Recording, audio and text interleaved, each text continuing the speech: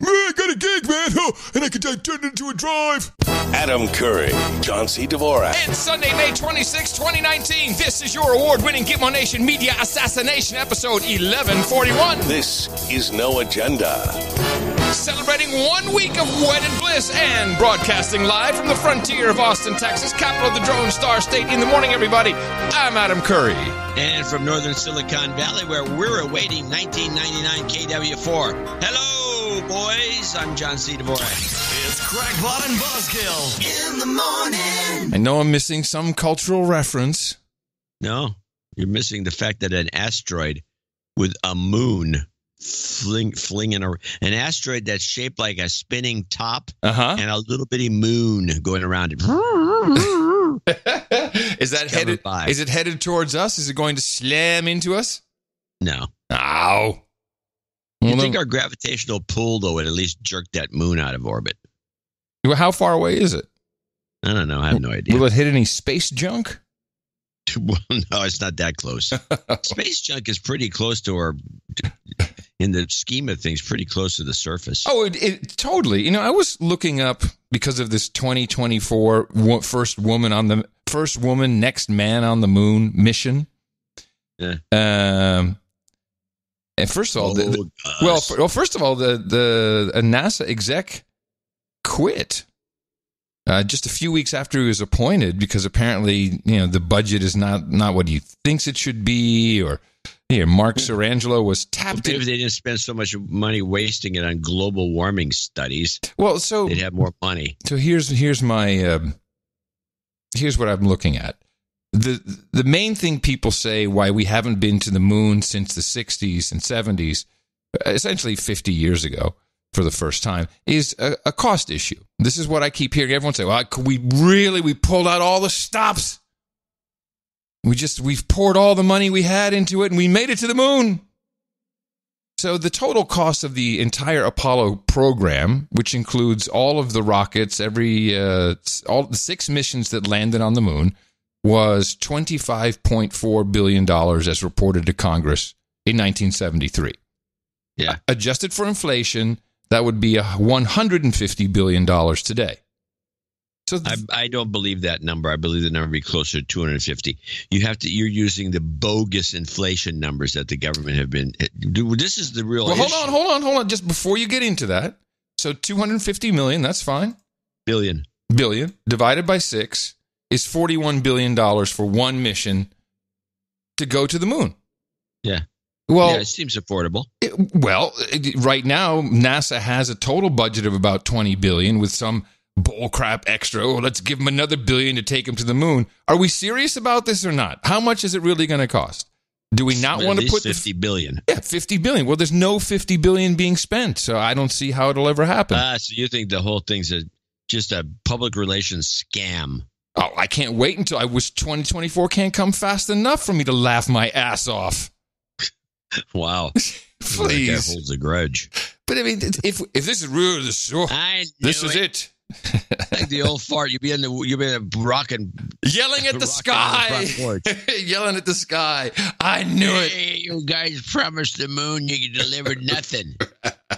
Uh huh. Oh, okay. I just don't. I can't take it seriously if we're not going to put up the right amount of money. well, then I don't take it seriously anyway.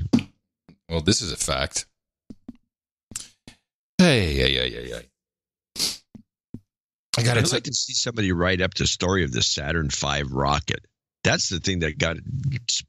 If we went to the moon, that's how we got there. We don't even have a rocket that's half that size. It doesn't seem like such a big deal. Why- Is it so hard to just build a bigger rocket? I don't know why they haven't built another Saturn V. That was the biggest rocket we've ever built. It's Hmm. things, the thing's the size of the Empire State Building. It's a huge thing. Really? Is it that tall? Oh, that's crazy. Oh, it's, no, it's not that tall, but that would be kind of cool, don't you think? well, okay. More misinformation, Dvorak. You're not helping. Confusing me. Hmm. Ah, I just want to mention one thing. Uh, and maybe you've had this moment.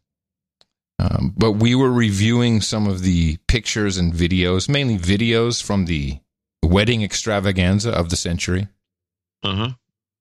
And I have to uh, say, with s- sadness and disappointment, that I really believe I'm a better dancer than I am.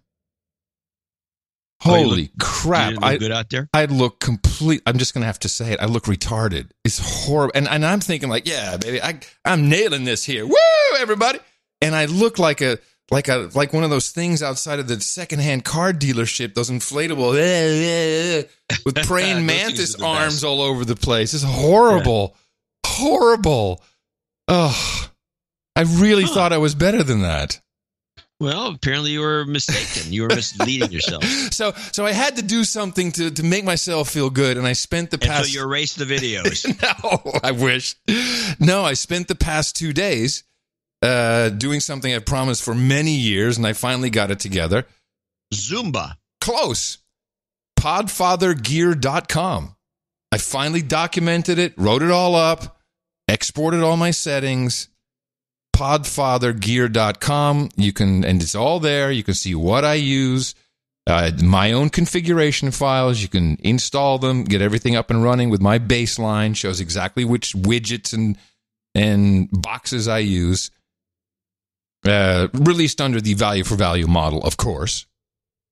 Well, let's stop immediately here. And the value for value model is going to pay zero in this regard because, for one thing, you're not running a bunch of cheap crap.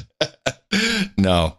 Well, no, it's not cheap, but it's not crazy expensive either. To- It's close to it for most podcasters. the, the main box is five hundred and ninety five dollars, and you can get quite away with with that. I mean, you'd still yeah, don't but have then you got to buy the plugins. no, no, no, no, no. Um, Mark of the Unicorn you were talking about? Mark of the Unicorn has the compressor limiter, EQ, all of that built in. You need no extra, no extra stuff. So I'm basically on a on a uh, a bare bones box. I'm running barefoot, John.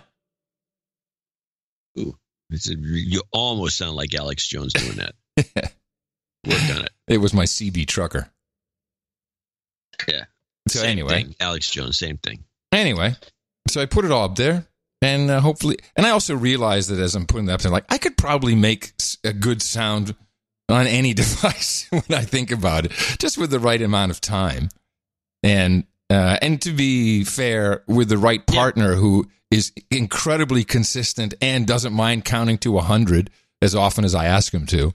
You can say that, but the other uh, side of it is um, you're not going to do that. A, for sure. Do what?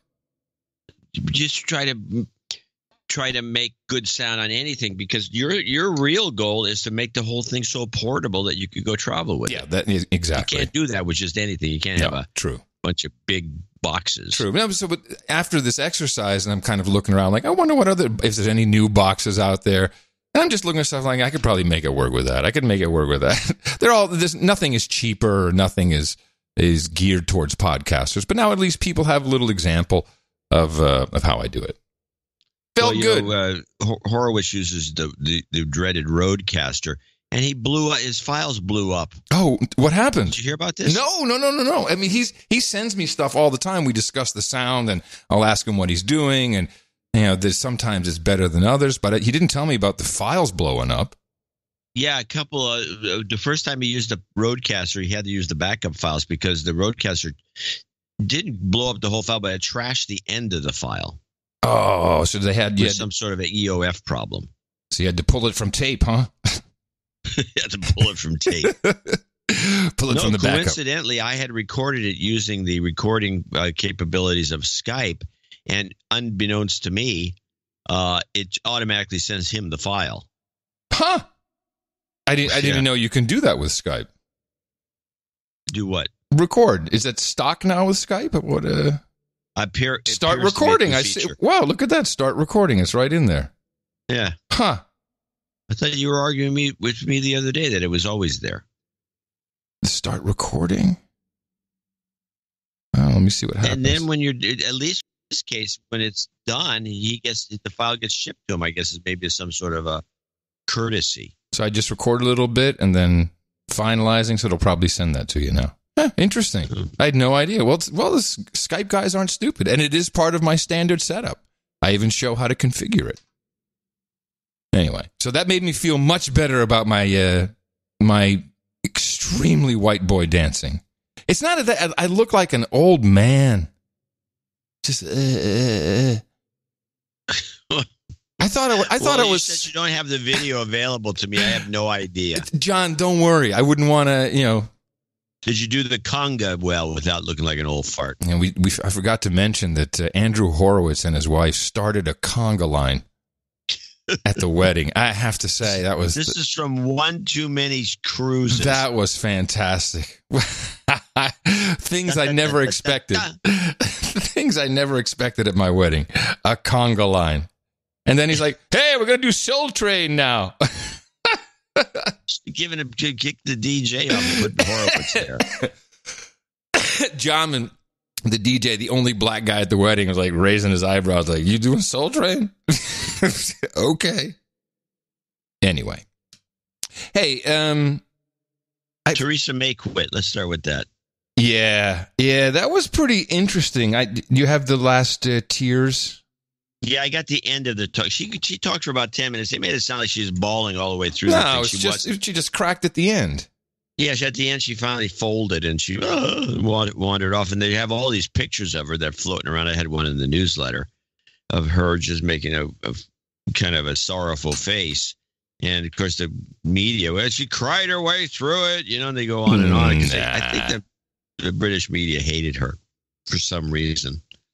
Yeah, How about the British- this and How about the British public hates her? I will shortly leave the job that it has been the honour of my life to hold. The second female Prime Minister? I'm calling bullshit here, Dvorak. I think you slowed this down to make her sound more emotional.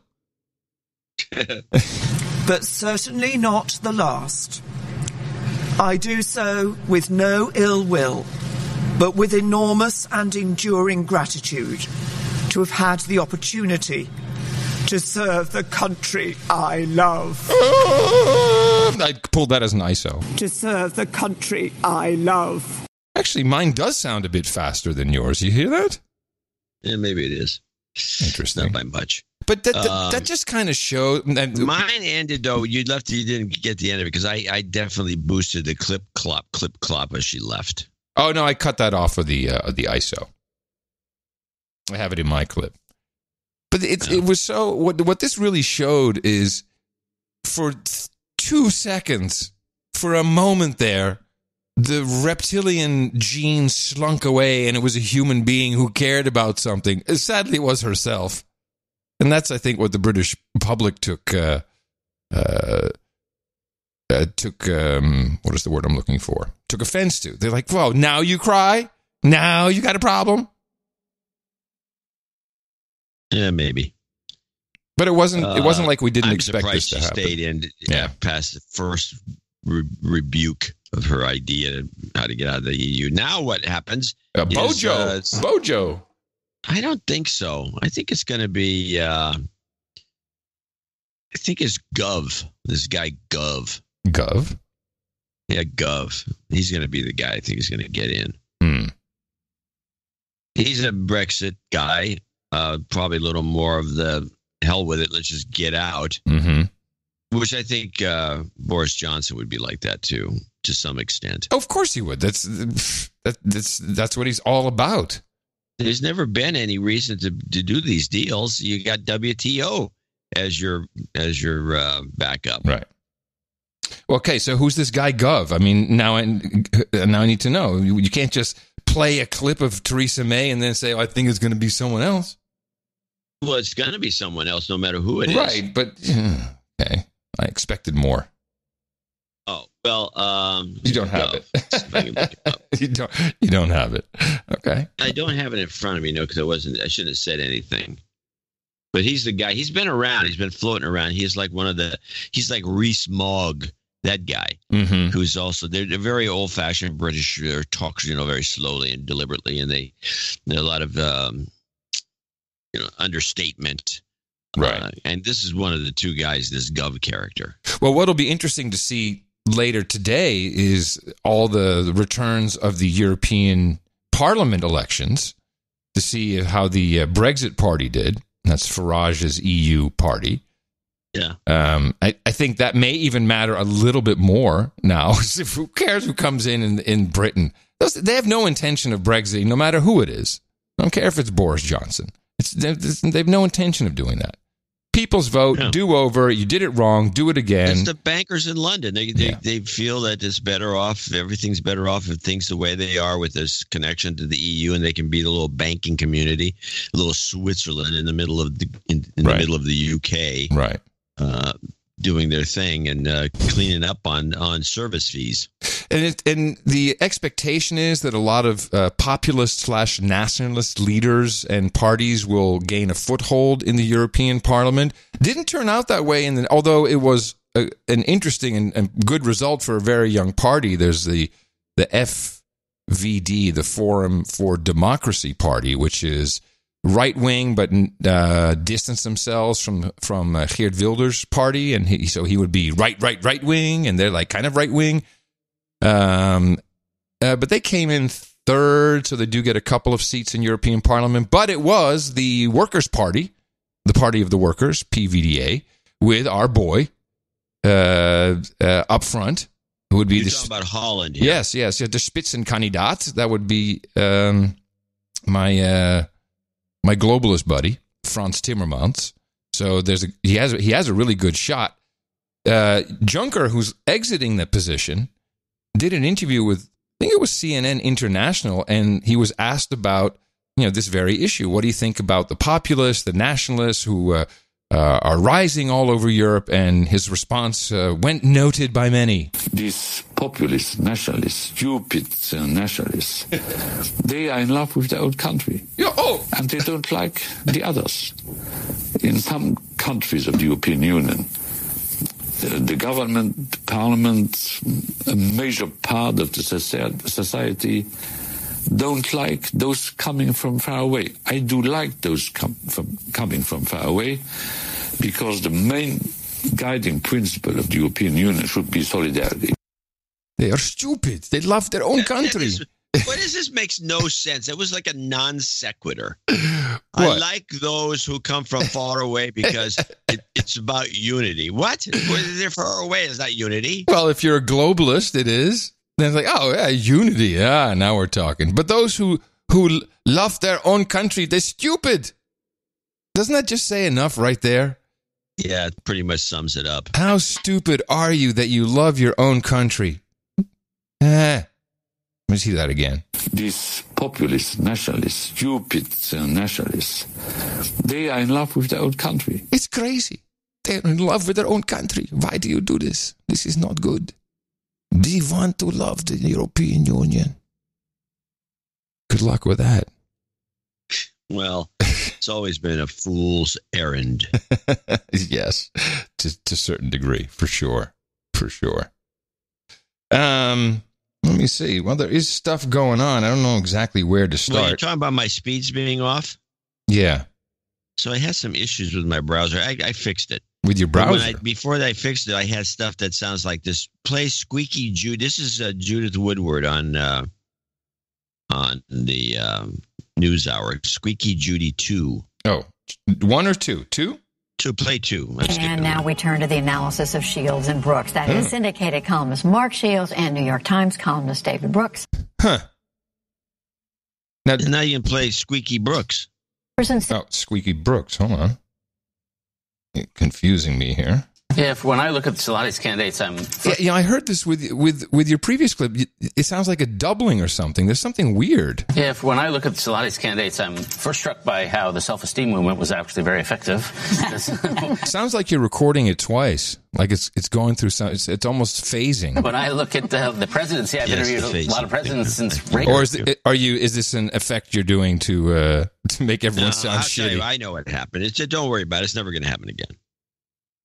Well, okay. This is interesting though that this happened to you, um, because this was one of the most, to me, very interesting ministry of truthiness exercises that we went through with this doctored video. well, Um, before we play the, you, I did you get the? I, I think I have a. Did I get a? I don't think I have a copy of the I do. I- video. I watched it last night. I have the. I do have this to play. I have the event at which Pelosi was on, she was at some some progressive deal, and she. Uh, let's see where my Pelosi Trump walkout. I mean, I, ha- I, ha- I have the clip that you're talking about, so I, I, I have all this. I, Exposing Pelosi at progressives events is the clip I'm talking about. okay. And this is the actual feed from the event at at regular speed, and she sounds terrible. I mean, the, the yeah, they slowed it way down to make her sound drunk, but they used to do that with George. Well, Bush, hold on, hold on. Stop, recall. stop, stop. No, stop, stop. You go. You're, you're going way, way ahead of what's happening here. All right.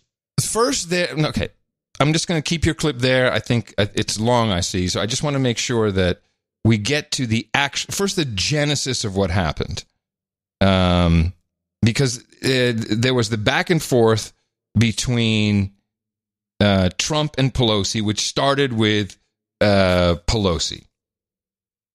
And let me see. The one that I want here is. Uh, see, now you've confused me. I was so. Re- oh, here we go. Yes, this is the back and forth. This thing keeps escalating in a brawl of words after the infrastructure meeting imploded yesterday. And the president said, basically, call me when you're done investigating, and then we will get some work done. Nancy Pelosi did not like that. So she called him, basically, unwell. I pray for the President of the United States. I wish that his family or his administration or his staff would have an intervention for the good of the country. Prayer comments almost suggest you're concerned about his well-being. I am. So the president was not happy about that. Ever the counterpuncher, late today, he let her have it over the inaction on the new trade deal with Mexico and Canada that he very much wants to get signed. She's a mess. Look, let's face it, she doesn't understand it. And uh, they sort of feel she's disintegrating before the rush. Crazy Nancy. I tell you what, I've been watching her, and I have, I have been watching her for a long period of time. She's not the same person. Uh, she's lost it. It was sad when I watched Nancy all moving, the movement and the hands and the craziness.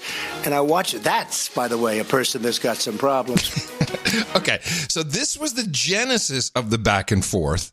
And then the president tweeted out this video. We had a little uh, long, took a little longer on the floor, custody custody of the border the border.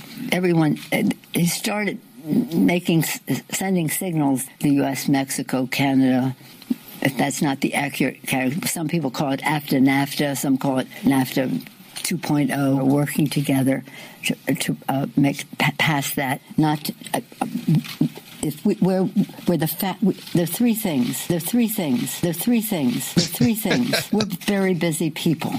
That was the exact video that I got it from his tweet that Trump tweeted out. That was not slowed down, and the reason why the three things, three things, three things was repeated because she keeps holding up two fingers when she says three things. So it made her look very stupid. It was edited of her bumbling and stumbling, but it was not slowed down. But this is what interests me is that the team Pelosi or whatever bugle call goes out immediately, uh-oh, she looks like she has medical issues. And this distraction was created and I'm not quite sure how it, you know, how maybe Rudy Giuliani had to do this to do something. But then, all, then the then the, the for a little while there, for maybe an hour or two, Trump tweeted out a, a fake video, doctored video, and, and then when they realized that it wasn't this slowed down video, I have the example here from uh, NBC. About the impact that altered videos could have on the next election after a manipulated video of House Speaker Nancy Pelosi went viral, and after the president retweeted another heavily edited video. Of- you see, this was fantastically done oh my god. She looks like she's like she's she's dying. She it's, it's not a good video. It's not a good look. It's not a good sound. They bring in some other video that was not even in play at all yes. The speaker of the house tom costello has that story. One day after that bitter and personal clash both president trump and speaker pelosi were today dialing it down. But tonight this video edited to make pelosi appear as if she were slurring her words has gone viral raising serious concerns. Okay then they bring in experts on this thing. So now that what Trump has tweeted is already behind us, although Trump, Orange Man bad, he did tweeted out a doctored vid. Now it's doctored. It used to be heavily edited. Now it's doctored. It's been No, doctored they with. They they combined the two items Purposely. together and made it look as though Trump sent out the copies of the one where she's talking slow. And by the way, I want to stop right now and mention they did this to Bush constantly. Of course they did. Of course. But that and that's what I'm seeing here is complicit behavior where not once have you seen the video on mainstream that Trump tweeted out. Instead, you get stories like this. We want to show you this video. First, we're going to show you the real uh, video of Nancy Pelosi speaking a couple of days ago, and then we're going to show you the fake one, which has been slowed down, the audio slowed down to make it appear as if Speaker Pelosi has been slurring her words. And then he had a, press conference in the Rose Garden with all this um, short sort of visuals that obviously were planned long before. And then he had a, a press conference in the Rose Garden with all this um, short sort of visuals that obviously were planned long before. So you can hear that edit there. Uh, you know, when you see it side by side, it might seem obvious, but when you encounter this on your Facebook news feed as, as a standalone, it might not seem as obvious. And look, you know, doctored videos, hoaxes online. Oh, yeah, it's very obvious. Are as old as the internet itself. What is unprecedented, though, is social media gives people the ability to put a fake video out there and have it quickly viewed by millions of people. This video has been removed from YouTube. They said that it, it broke their policies, that it is misleading. Facebook, on the other hand, the video is still up there. It- they essentially What? said it doesn't break their rules, that they are having fact checkers take a look at it. But just a few minutes ago, I checked online. One version of the video on Facebook has been viewed almost two and a half million times.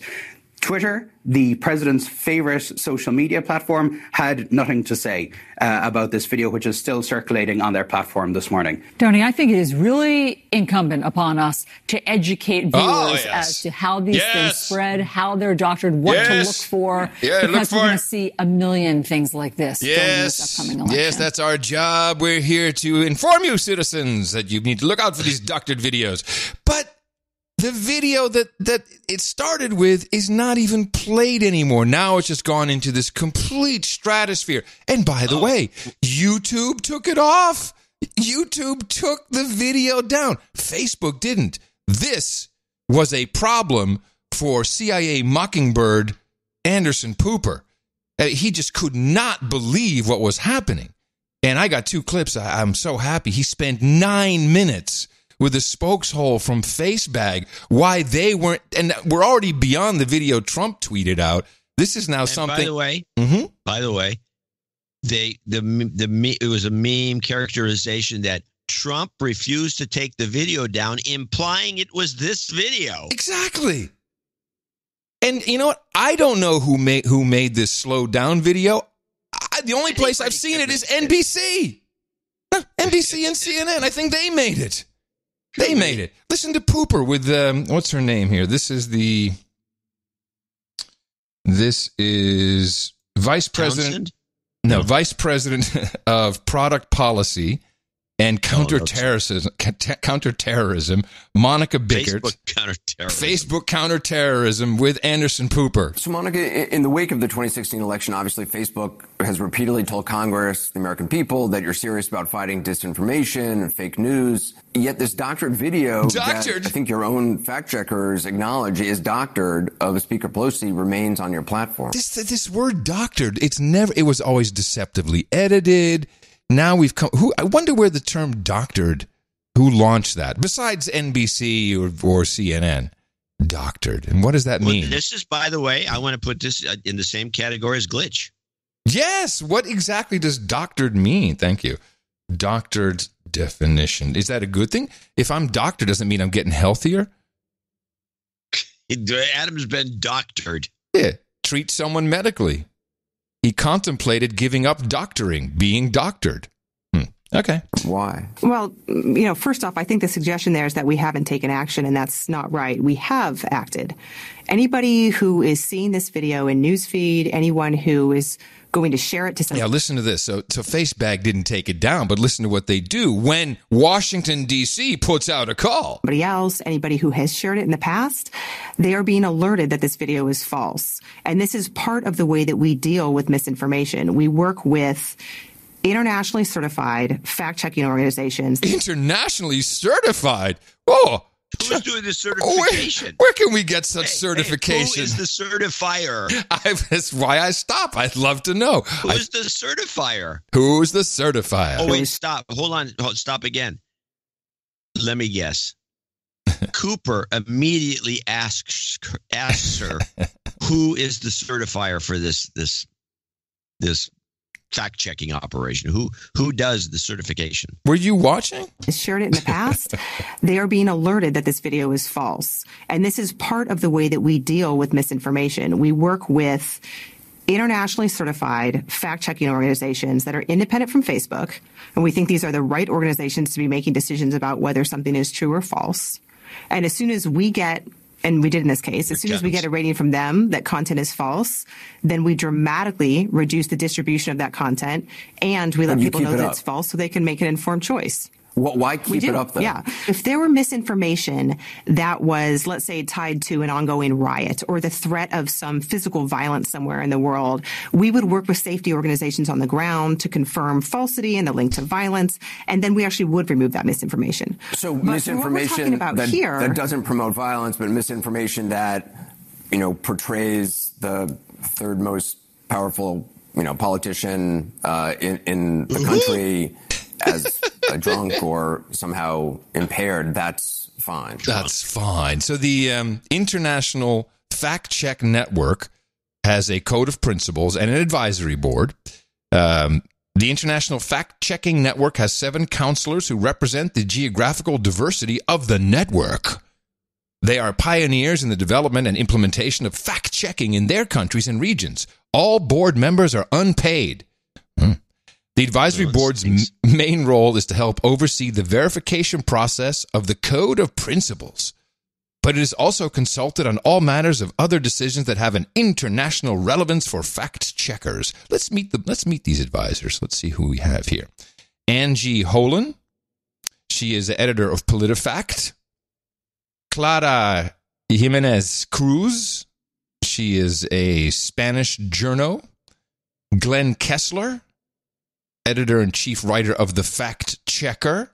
He has a journalism career spanning more than three decades. Wow. Uh, Govindraj Ethiraj. Hmm. He's from India. Laura Zommer, editor in chief. what is he good for? And let's see. Well, he has over 25 years focused on fact checking and fake news busting in India. 25 years? He's yeah, the man is fantastic. 25 years he's been doing this on the internet, apparently. Huh. Laura Zommer, editor in chief at Chequeado, the first initiative of fact checking and verification of public discourse in Latin America. Okay. And Noko Makgato, he has extensive career in the media sector as a journalist and manager, 20 years of experience in Africa. Oh, and then we have one more. Tijan Shevechnenin. She's from Bosnia Herzegovina. There's no one from America. Oh, yeah, PolitiFact. Angie is from PolitiFact. Yeah, so those are the people who uh, determine who can be. Nobody from Snopes? No, they're they are a member of the Fact Check Network.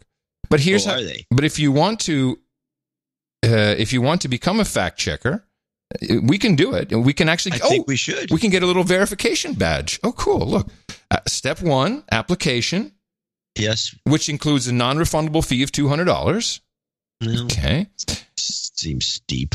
And then the assessment. Uh, oh, external assessors will uh, will check this. Who are the external assessors? Laurent Bigot. well, there you go. Laurent Bigot is the is the one who will be looking at our assessment. Please, this is crazy. So it's a big intellectual network of yahoos. Yeah, theater. Now, Uh, Pooper took it one step further, and this is really, really what gave me great joy to listen to this because here you have him seeing Facebag as an incredible adversary, and they're not playing fair. I I guess I still just don't logically understand. I understand you, it's a it's a big business to get into of trying to figure out what's true or not, but you're making money by being in the news business. If you can't do it well, shouldn't you just get out of the news business? I love that he's saying they're in the news business all of a sudden. Look, I, I reject the notion that we're not doing a lot to counter misinformation. No, I We didn't say are. you're not doing it a lot. So- I'm just saying if you are you are in this particular case uh, spreading and allowing the spread of a clearly false doctored video, again, you're in the news business. There's a responsibility that comes with that, uh, and this is this isn't even a question. We are in the news. he uh the doctored video itself tell me if i'm wrong here is news Newsworthy. It's news. Of course it is. It's, total newsworthy. news and it's newsworthy so why wouldn't you leave it as is and just tell people we think this is a fake does of course he knows that the doctored video is news because he's covering Uh, it as so news. he's full of crap this guy Well, well, but I think he's look. He's he's part of the system, and I, for him to say repeatedly, "You're in the news business," I think he was really drawing her out. He wanted her to admit that they're in the news business because once once Facebag admits that, then it's all over. Then all of this uh, deplatforming, um, you know, hiding, shadow banning, you know, lowering significance in the feed, all of this stuff becomes very relevant to section uh, 203 of the Communications and uh, Decency Act.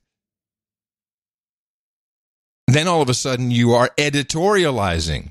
well they're not really in the news business by any No, means. I know, but he's trying to get her to uh, admit to it and and saying by the mere fact you distribute this, you're in the news business. Yeah. Uh, and this is this isn't even a question. We aren't in the news business. We are in the social media business. Well, you People are in the come news to business. Facebook You- to the share. re- the reason you're sharing news is because you make money from it. It keeps people watching you. Oh, no, I understand. If you make money from it, then you're in the news business. Okay, thanks, Anderson. and more involved in your site, which I get, and that's fair. But if you're in the news business, which you are, you got to do it right. And this is false information you are spreading. Wha- What? We have Coming from CNN, he says that. I know. It's so You've got to do it right. How about you guys doing it right? so lovely ironic. You got to do it right. And this is false information you are spreading. we have a site where people can come and share what they think, what's important to them, the news that they find relevant. And when they do that, we want to make sure that they have access to accurate information. If there is a threat of safety, if we're talking about terror propaganda, that's something where we can actually assess that on its face and say, yes, get this is terror propaganda, Mm-hmm. and we can pull it down. When you're talking about political discourse, After nine minutes of this crap, yeah, I'd be irked too. Just and, and political, again, propa- if it's misinformation that is related to safety, Uh-huh. If it's misinformation that's related to safety, we can and we do remove it. And he went on and on and on. And on. Well, while we're on the pro- process of you got to do it right, we might as well play this from CNN.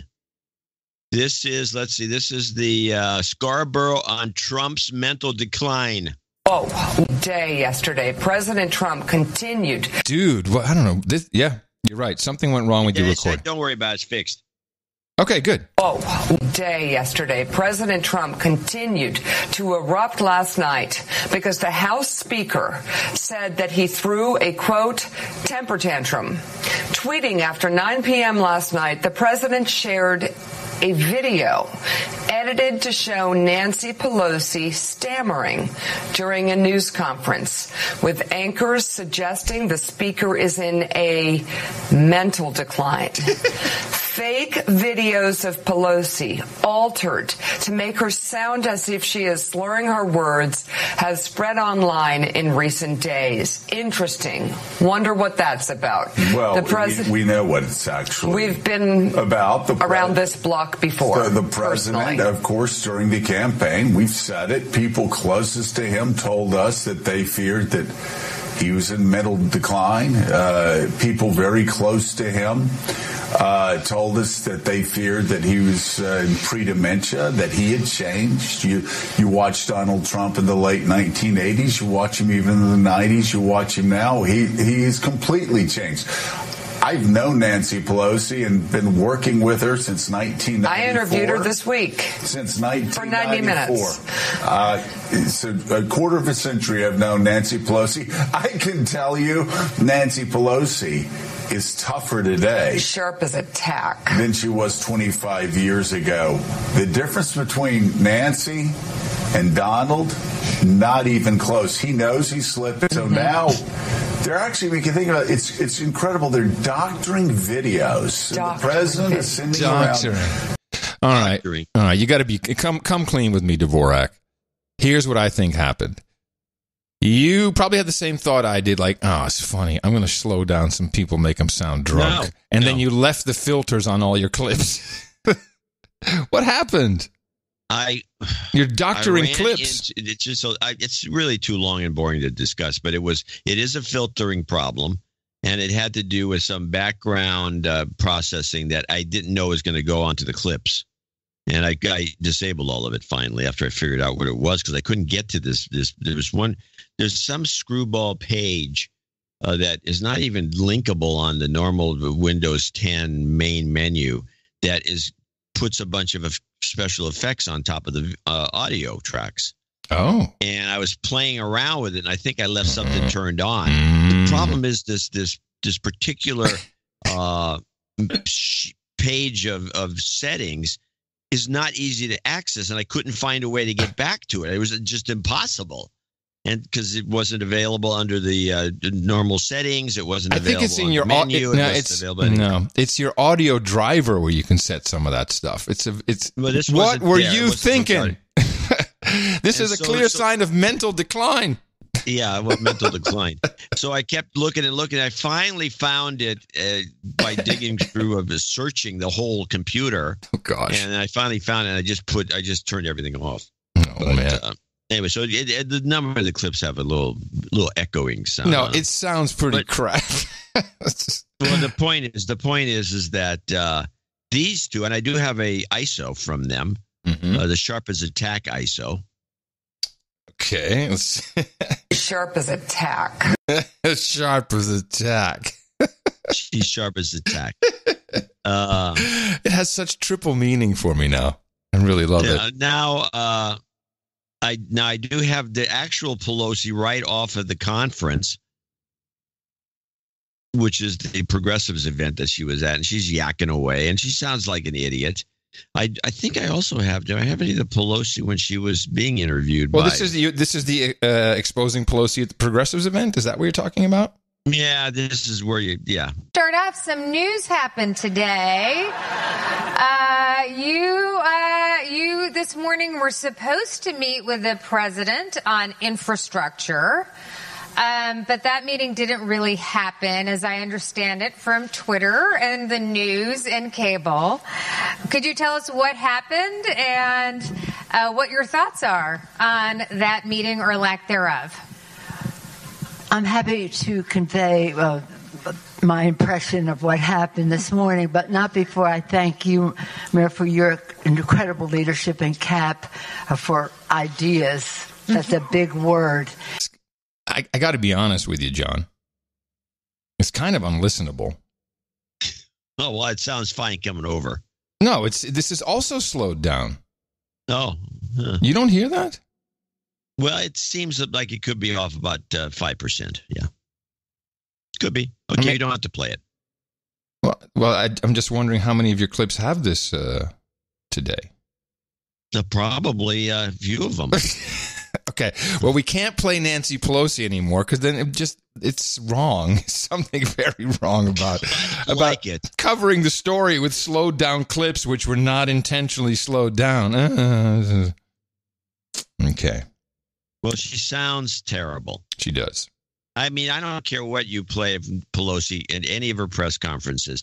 Yeah, you can clip it out and make her sound worse, but she just sounds bad anyway. Well, she stammers and she she does she does what Ron Paul used to do when Ron Paul was excited. He'd clip words.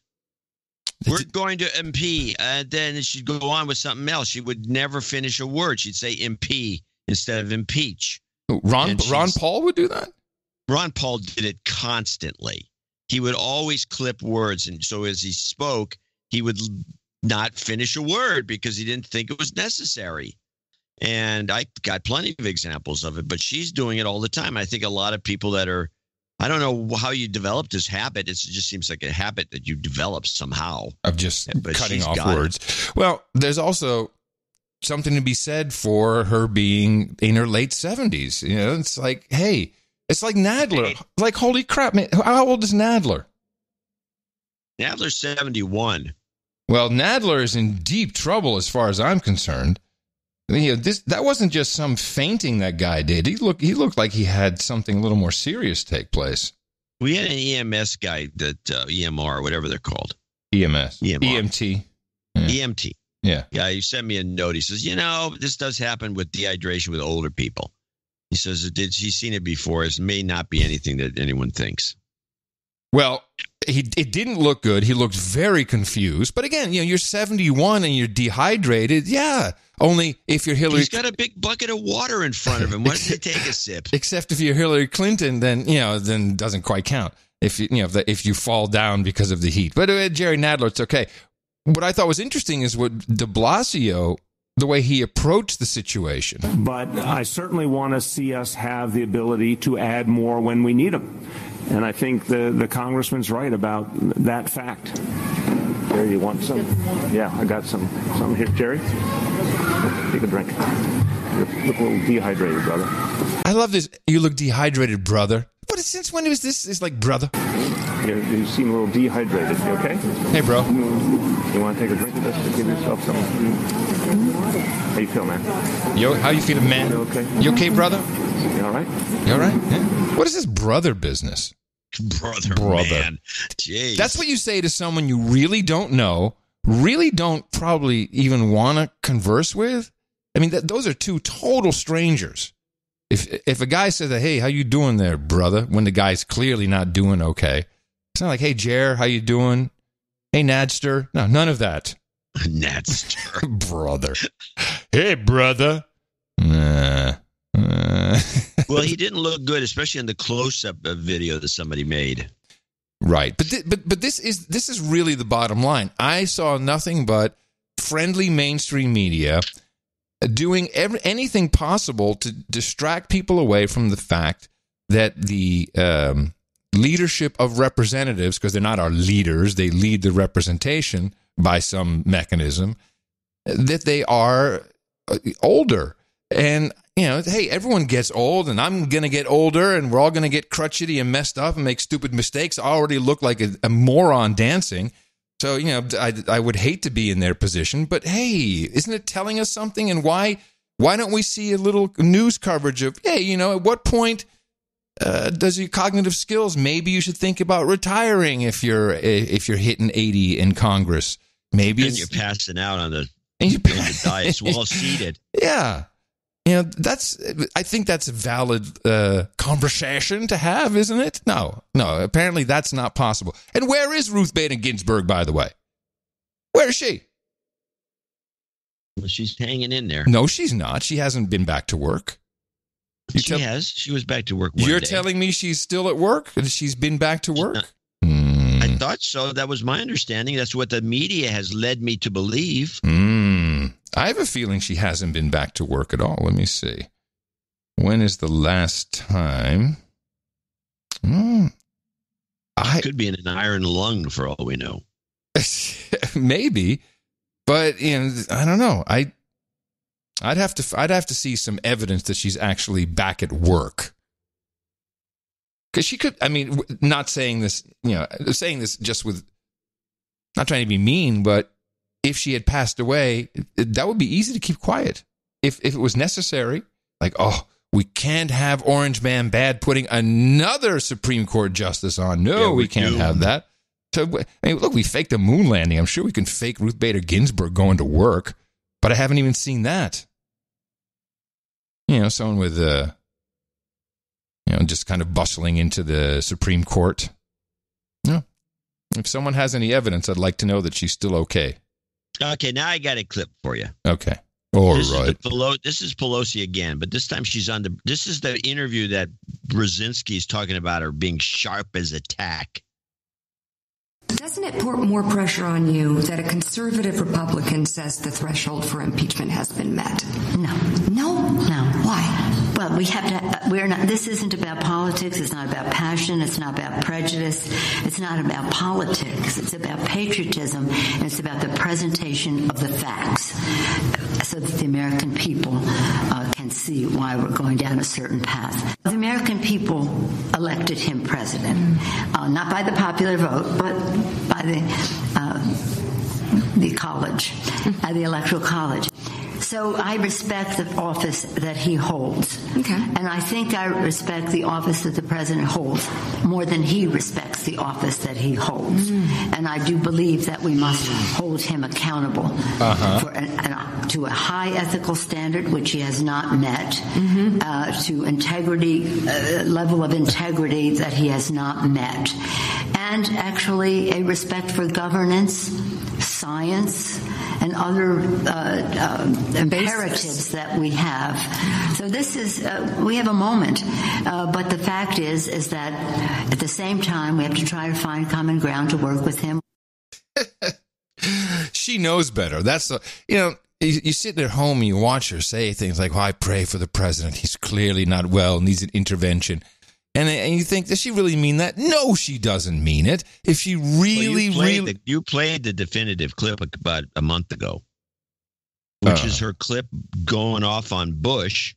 on oh right, right, right, right. Show. Yeah, oh, yeah. Old. uh Let me see. Nancy Pelosi. What was it? it was nineteen. It was an old one, wasn't it? Yeah, it was from the um, '92 or no, or before. No, it was about George H. W. Bush, so it had to be around 1989 or something like that. Um, yeah, it was 60 minutes, I think. Yeah. Yeah. Well, anyway, yes, that was the definitive clip because she's always been like that. Um, but she knows better. She knows that this isn't that there is no grounds for impeachment. Yeah, otherwise she'd do it. the The Twenty Fifth Amendment is literally about being um, uh, incapable of performing the inca- really incapacitated. can't walk. It will, or talk or whatever it is, or can't communicate. And she, so on one hand, she said, "Oh, clearly something's wrong with him. He's not of sound mind and needs an intervention." But she will not uh, allow impeachment proceedings. Uh, she has mentioned the 25th Amendment herself just recently. right, but which is just bullshit. It's a bullshit. No, she just she's just throwing it out there. However, uh, with Nancy stonewalling that, oh no, there's money to go around. ActBlue is up in arms, and they're taking out advertisements on MSNBC. This is a message. For leaders of the Democratic Party. For over two years, this president has broken the law. And nothing happened. You told us to wait for the Mueller investigation. And when he showed obstruction of justice, Nothing happened. When this president took money from foreign governments. And blocked the release of his tax returns. nothing happened. And when his administration illegally refused to testify, nothing happened. Now you tell us to wait for the next election? Really? Really? Really? This is why we volunteered. Raised money. went door to door. And voted in the last election. Our founding fathers expected you. Congress to hold a lawless president accountable. And you're doing nothing. Nothing. Nothing. He broke his oath of office. He's defying you. He's laughing at you. And he's getting away with it. This is our democracy. But Congress is part of the system, and the system is broken. We have to fix it. Need to Impeach is responsible for the content of this advertising. Need to impeach everybody. Need to impeach. Need to impeach.com. This is now they're they're they've taken this so far now. It's been on on to three years. Yeah. You're uh that means that every president now, whoever gets in, uh, Well, get Obama could have gone through this if he wasn't black. Sure. yes. He probably would have. Yeah, he probably would have. But this is all stems from Nixon and stems from you know then Clinton getting impeached. He actually got impeached, and uh, they went through with it. And it didn't. And, and as the Republicans say, it didn't really help us. No. It ended up hurting us because it really irks the people because they never got anywhere with it. You didn't get him kicked out of office, so what was the point? Just a po- you know process of humiliation. Yes. And uh, that's what they're doing, and it irks the. It really makes people angry. It turns out that 26% of the U.S. public uh, thinks impeachment proceedings should begin. That's a very low number, and that's be the hardcore lefties. Mm-hmm. And it's going to irk everybody else if they go ahead with this. And that's what Pelosi knows this, and that's why she's trying to keep these guys under wraps. But there's a bunch of gung ho jerk offs like Al Green uh, that are just going to keep doing, you know, pushing for it. And then they, all these young people, they don't know the AOCs and these other uh, uh, Omar and the rest of them. They they Yeah. think is great. Just sounds good. Let's do it. So then, clip. well, I was going to say two things happened on Thursday on a show day, of course, uh, that warrant uh, discussion. One is the uh, declassification of any and all documentation uh, relating to any collusion. Uh, the second one is the Assange indictment under the Espionage Act. Which one would you like to tackle first? Well, uh, I would say that the first one is probably more appropriate to where we've been chatting so far. Then we get to Assange. Okay. Uh, so that was exactly it. It was a full declassification order. I think it was an executive order. Uh, everyone has to cooperate with uh, Attorney General Barr. And of course, it doesn't mean that we're going to see everything. No, no, no, We're no. not no. going to see anything. You're not going to see anything. We're Um, not going to see anything. I said we're going to see Brennan whining. well, I, I, I do. I like how you're seeing people blame each other. And this is always kind of like a a precursor to something coming out that someone did something wrong. And the, one of the, it seems like a lot of people want to point towards Comey. Uh, former Attorney General Loretta Lynch, for sure. Welcome back to Fox and Friends First. Former Attorney General Loretta Lynch claims that she never told James Comey to call the Hillary Clinton email probe a matter instead of an investigation. We were getting to a place where the Attorney General and I were both going to have to testify and talk publicly about it. And I wanted to know was she going to authorize us to confirm we had an investigation? And she said, yes, but don't call it that, call it a matter. And I said, why would I do that? And she said, just call it a matter. Mm, not so fast. Lynch now says the former FBI director mischaracterized her Oh. statements. That is according to a newly released transcript of Lynch's testimony on Capitol Hill last year. Lynch also said that she was, quote, surprised that Comey used the word matter in reference to the Clinton email probe. So more to come on that. Oh, this is delicious. I never said Matt. I didn't say that to you, James. But, you did. I think that's juicy. Yeah, that is a good one. But uh, but again, if you get back to the basics and go back to your buddy Al De Genova, whatever his name is, De Genoa. De Genova, that guy. Yeah. He just blames the whole thing on Brennan. He says he was the real uh, he was the real uh, conspirator. Right, but we well, we can't leave we can't lose sight of what this is really about. All of this was put into play because the um, I more than likely Clinton, but possibly with uh, other members of the Obama uh, administration from 2012 to 2016 were spying on political opponents and probably Democrats, really, to be honest. Uh, you know, le- leading up to the uh, to the election, they were using the NSA database, and that spying is what got them in trouble. And you know, because then they started to use that on Trump. There were you know information coming in from the State Department to have people unmasked.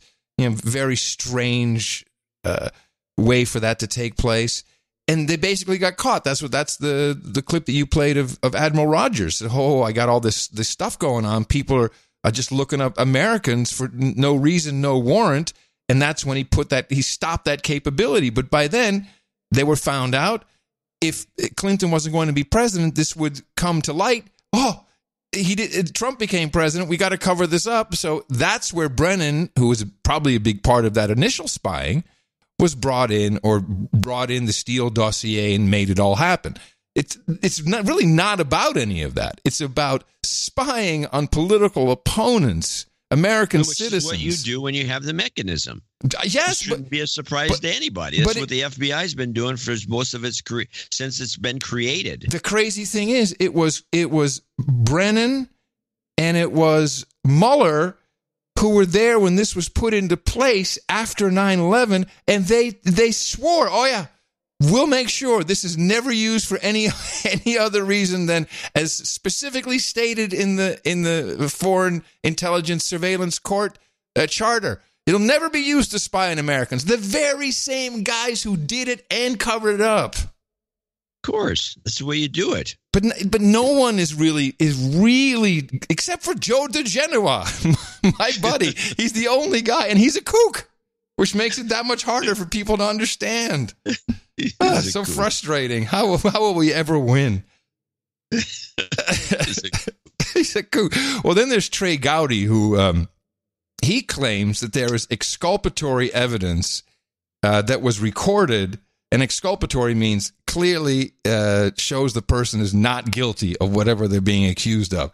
And when you go and get a warrant to spy on someone, or if you're accusing someone, or if you're indicting someone, and you withhold the evidence that could uh, show that he or she is innocent, I, I, please tell me that's some kind of law breaking, John. Tell me there's something with that. It depends on the rules, but yes. Okay.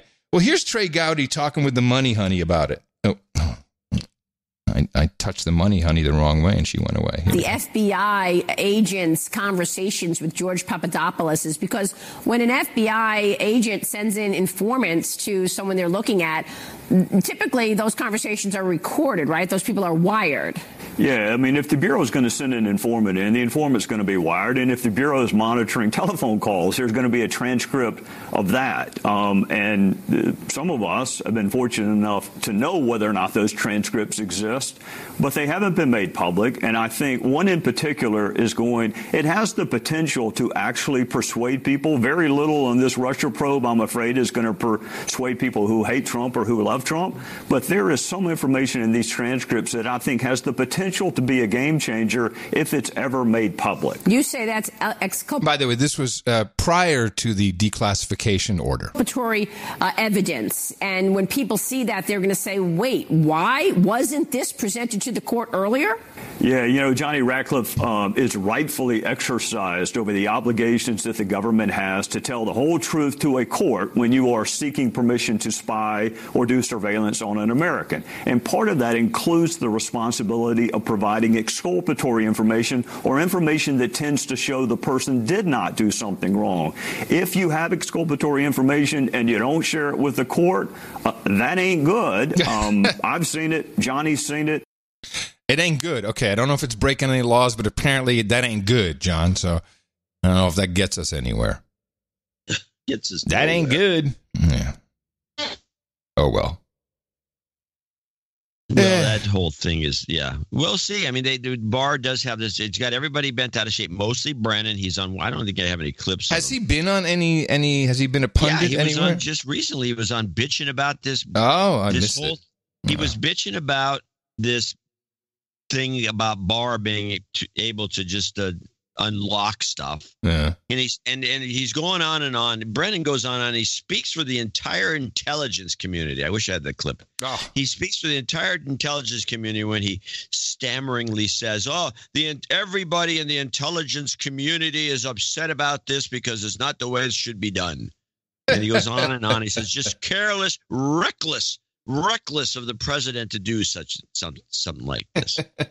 and he's really like, "What is his problem?" Everybody. I mean, if you look at the Genoa or listen to Ray McGovern, who nobody will talk to anymore, Right. Because he's been banned from everything. McGovern says they're running like you know scared, guilty people. Well, let's remember these famous words of John Brennan. People are innocent until you know, alleged to be involved in some type of criminal activity. Mm, there you go. So I don't know. I don't think he's safe anymore. alleged, alleged criminal activity. You're guilty. You know, you're not guilty until it's alleged. Well, I, I think he's in some trouble there. Yeah, well, by his own standards, he is. Yeah, unbelievable.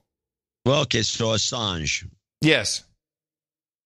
Uh, Assange. Now, this is interesting. Actually, I have a clip for this. I think. Um, yes, under the heading "Press Freedoms," because that's what this is. That's what this will be talked about uh, as usual. There's no such thing as press freedoms. I just want to remind everybody. There's a freedom of the press, which is uh, per our Constitution in the United States. It, varies by country. The United Kingdom has no freedom of the press. You get a D notice, a shut up slave, and you just stop it. Um, here is, let me see, I don't know where this is from. This is about the What uh, does D stand for? doofus. I don't know. D, I don't know. Someone will be able to tell us. Breaking news in our world lead, the Justice Department announcing more charges against WikiLeaks founder Julian Assange. Let's get right to CNN's Laura Jarrett at the Justice Department. Laura, what are the details of this indictment? Well, Jake, this is a pretty aggressive new move by the Justice Department, essentially tacking on 17 new charges against WikiLeaks founder Julian Assange. We had seen a single charge of computer intrusion uh, late last month, but now a 17 new charges, much more significant, and really, a really a big deal here for First Amendment uh, advocates, and a concern here because he's being charged with unlawfully obtaining, soliciting, encouraging that former intelligence analyst Chelsea Manning uh, with obtaining just a bevy of national defense materials, and he's being charged with publishing those materials. And so the Justice Department asked today, well, what's the difference between Julian Assange and journalists like you and I? And they said, let's be clear, Julian Assange is no journalist. One, another justice official said he's not being charged simply because he's a publisher. And what a publisher and what they're pointing to is not only the fact that Assange allegedly helped Manning crack into a Department of Defense uh, password, but also the fact that he published confidential human sources, the names of human sources, which put them in danger, and he knew that publishing would put them in danger. He solicited those materials on WikiLeaks, and that's what they're pointing to, which makes this case different, Jake. And Laura, what does this mean for Assange, and has WikiLeaks responded? They have. They have said this is madness. It's the end of national security journalism and the First Amendment. So obviously a pretty uh, a pretty aggressive response from WikiLeaks there. But you know, this this is something that the prior administration really struggled with under the same set of facts. Under the you know prior Justice Department, Eric Holder declined to prosecute Julian Assange under the Espionage Act for just this idea because the idea is well, what would separate this from the New York Times publishing classified information? And I should also point out, you might wonder why we're seeing this today. Uh, the Justice Department actually had 60 days um, from when he was arrested uh, last month. And so there was a sort of window from when they could tack on these new charges. No telling whether they're going to tack on any additional charges, though, at this point, Jake. I think the 60 days is for extradition, maybe? Is that the idea I don't care behind about that? any of this. This guy's not even an American. How can they charge him with anything? Well, um, but I've, uh, there is a, a Wikipedia uh, page for the Espionage Act of 1917, the United States federal law. Um, and the How many people have been found guilty under this Espionage Act, even though we've gone through two world wars and Vietnam War, and we've had all these other act police actions around the world, and and potential for espionage, and people were blowing up trains in World War II and all the rest. Well, how many people have been charged and found guilty? um, I don't think, I don't know how many have been actually found guilty. Zero, I think. Interestingly enough, Daniel Ellsberg, Yeah, uh, who was the whistleblower of the. Pentagon Papers, he was uh, he was hauled before the court on. Yeah, Uh, he actually did the whole act. He grabbed the papers and he released the papers. Right. Uh, Julian Assange was acting as a journalist in this regard because he didn't go steal the papers. And by the way, let's get back to my point. Well, I, I'm, he's not an American. Yes. he is an oh, he's a citizen of Australia. Pre- he's he's living in England. What juris? What is the jurisdiction? President. I'm asking about jurisdiction here. What jurisdiction do we have to charge this guy under any act, espionage or other? Where, where's our jurisdiction here? If he's so- not an American. He can't. He's not committing espionage. Okay, can I ask you a question? Can I? I mean, I'm, I I understand you've made this point. You keep making it over and over again. Uh, Gaddafi was not an American. We went over there and shot him up the ass. I mean, what, what is your point? I mean, this is a fucking stupid argument. Yes, he's not No, an it's not. American, and Not neither is. argument. No, it is. Well, it's to make it over and over again. It, I don't think. I don't think it matters. It's never being addressed. Well, but what is there to say? I don't think it matters. I think the United States, if they want to charge anybody under anything, the Jaywalking Act, they'll do it. I, I, They have no jurisdiction over this guy.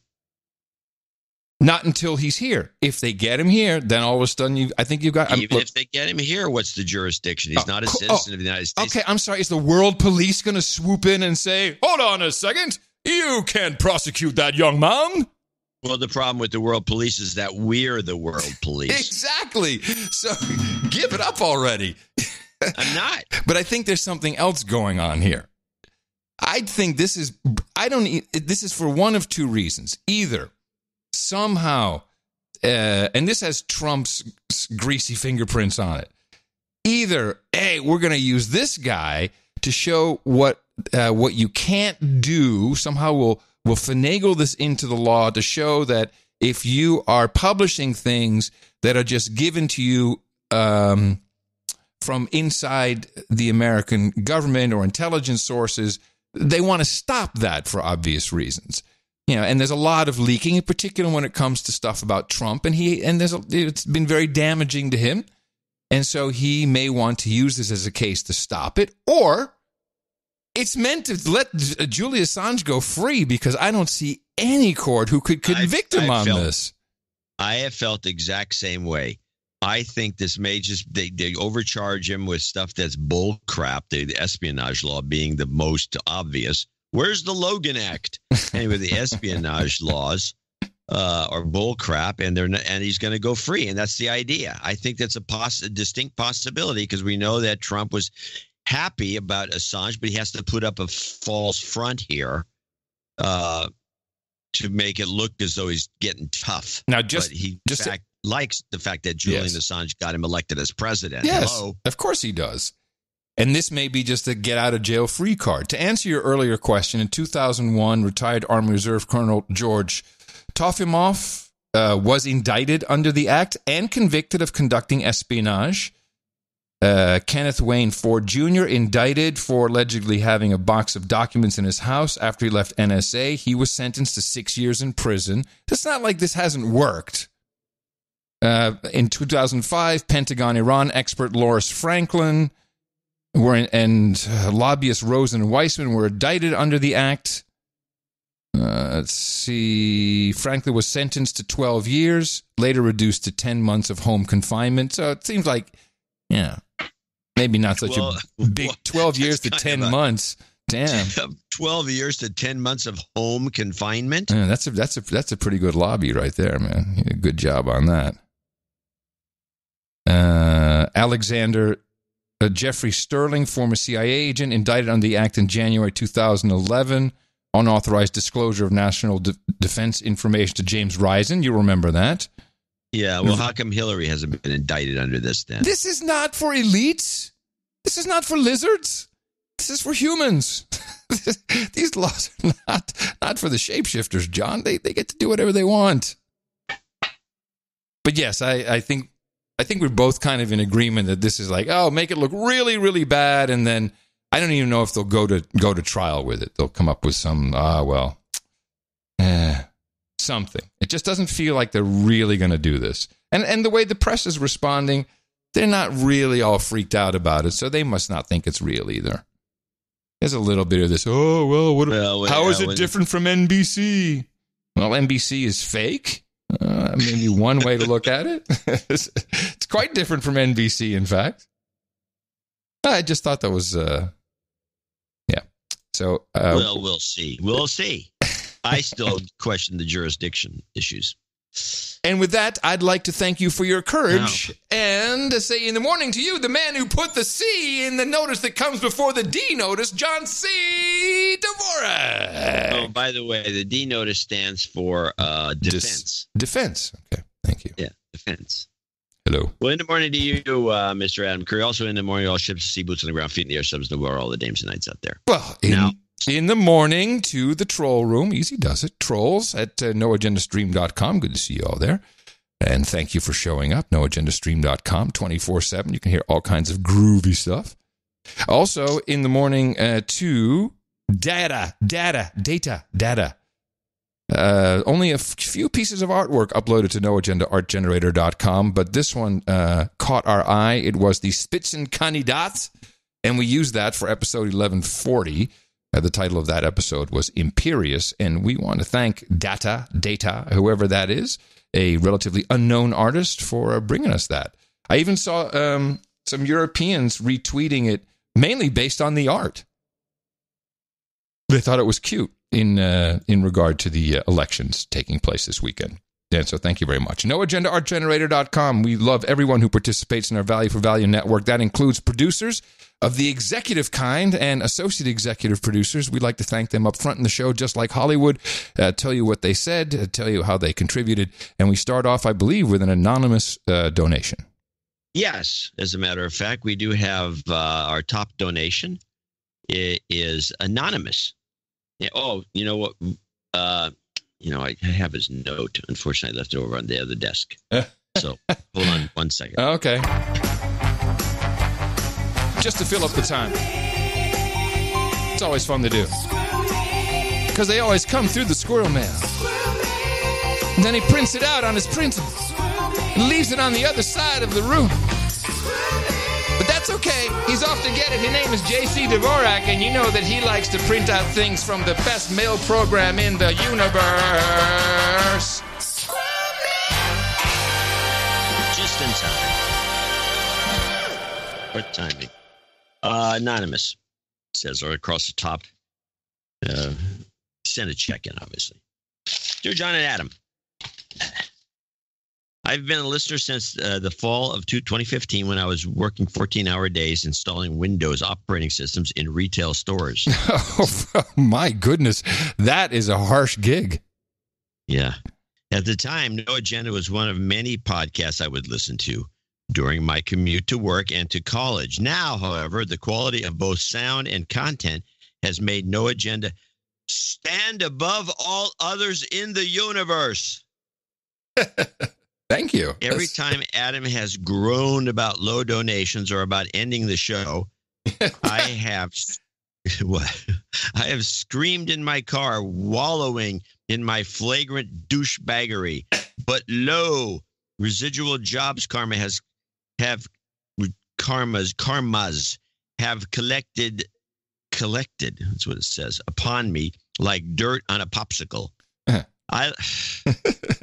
Very funny. Somebody. That's a very good I analogy. Like any, uh, I like any other producer would prefer to present this Instanite donation in something as Raven announces John to the stage. Hopefully, a check will do as well. Uh, he's also an Eagle Scout, a dude named Ben, and a ham soon to be. Makes Thank so you for much all that you do. Very common. If he was a Marine, it'd be even more. Well, common. so he needs a, de- a de-douching and some karma, doesn't he? Or he has some specific I'm- I'm requests? still reading. Okay. Thank you for all that you do to conserve the stress of amygdalas across the globe. Please knight me, Sir Rib Ear. Rib Ear. Rib ear. Rib Ear. Sir, ah, Sir Rib ear. Please, de- please de-douche. You've been de-douched. Jobs, karma, and he has jingles. Hold on a second. I, this is not on my list, so it's anonymous. It's not on your list. Becomes Sir. What was it? Rib, R I B dash ear, E A R. Ribier. Okay. And does he need anything at the table for the round table? Doesn't say. Okay. But he he wants that's wrong, chemtrails, that's true, and a Hillary laugh. Uh, that's wrong. That's wrong, which is that's wrong. I think that's a Peterson clip. Okay. Chemtrails, which is a favorite of yours. That's true. That's true. And the Hillary laugh. Hmm. I can't find that. That's wrong. Oh yeah, that's wrong. That's true. See, I didn't have this one set up. And then Hillary laugh or a cackle. Just says laugh and chemtrails. Okay, let's see if we and chemtrails. Yeah, why wouldn't we have all of that stuff? Uh, okay. That's wrong. That's true. Chemtrails. I'll throw in a karma too. You've got I don't know what that was. That was. I tried. Okay. It was good. I mean, it was it was funnier than it would. I think. I don't know what happened there. All right. Now we know you've exposed yourself as someone who prepares. No, well, normally I prepare. Yes, of course. Yeah, you Yes. Yeah. You're a preparer. I try. Sir Stephen of Os- Oswego, to seven hundred fifty-six dollars, uh, even. A, a- completing out my baronet baronet C, accounting below, and rounding up to make uh, it eighteen times forty-two. Oh, Yes. I like that Shape 18. donation. Yeah, the shape shifting donation times forty-two that answered everything in the universe. Nice. That's Jewish lucky times the meaning of life, the universe, and everything. It's got to make it super extra lucky, right? All I need is karma. I didn't get the divorce karma I requested in March, but I guess the universe decided my knighthood was enough, so I got through it. Just finished buying a townhouse so the kids have a stable home base. So this karma is for my smoking hot girlfriend that I can turn into a new MILF someday.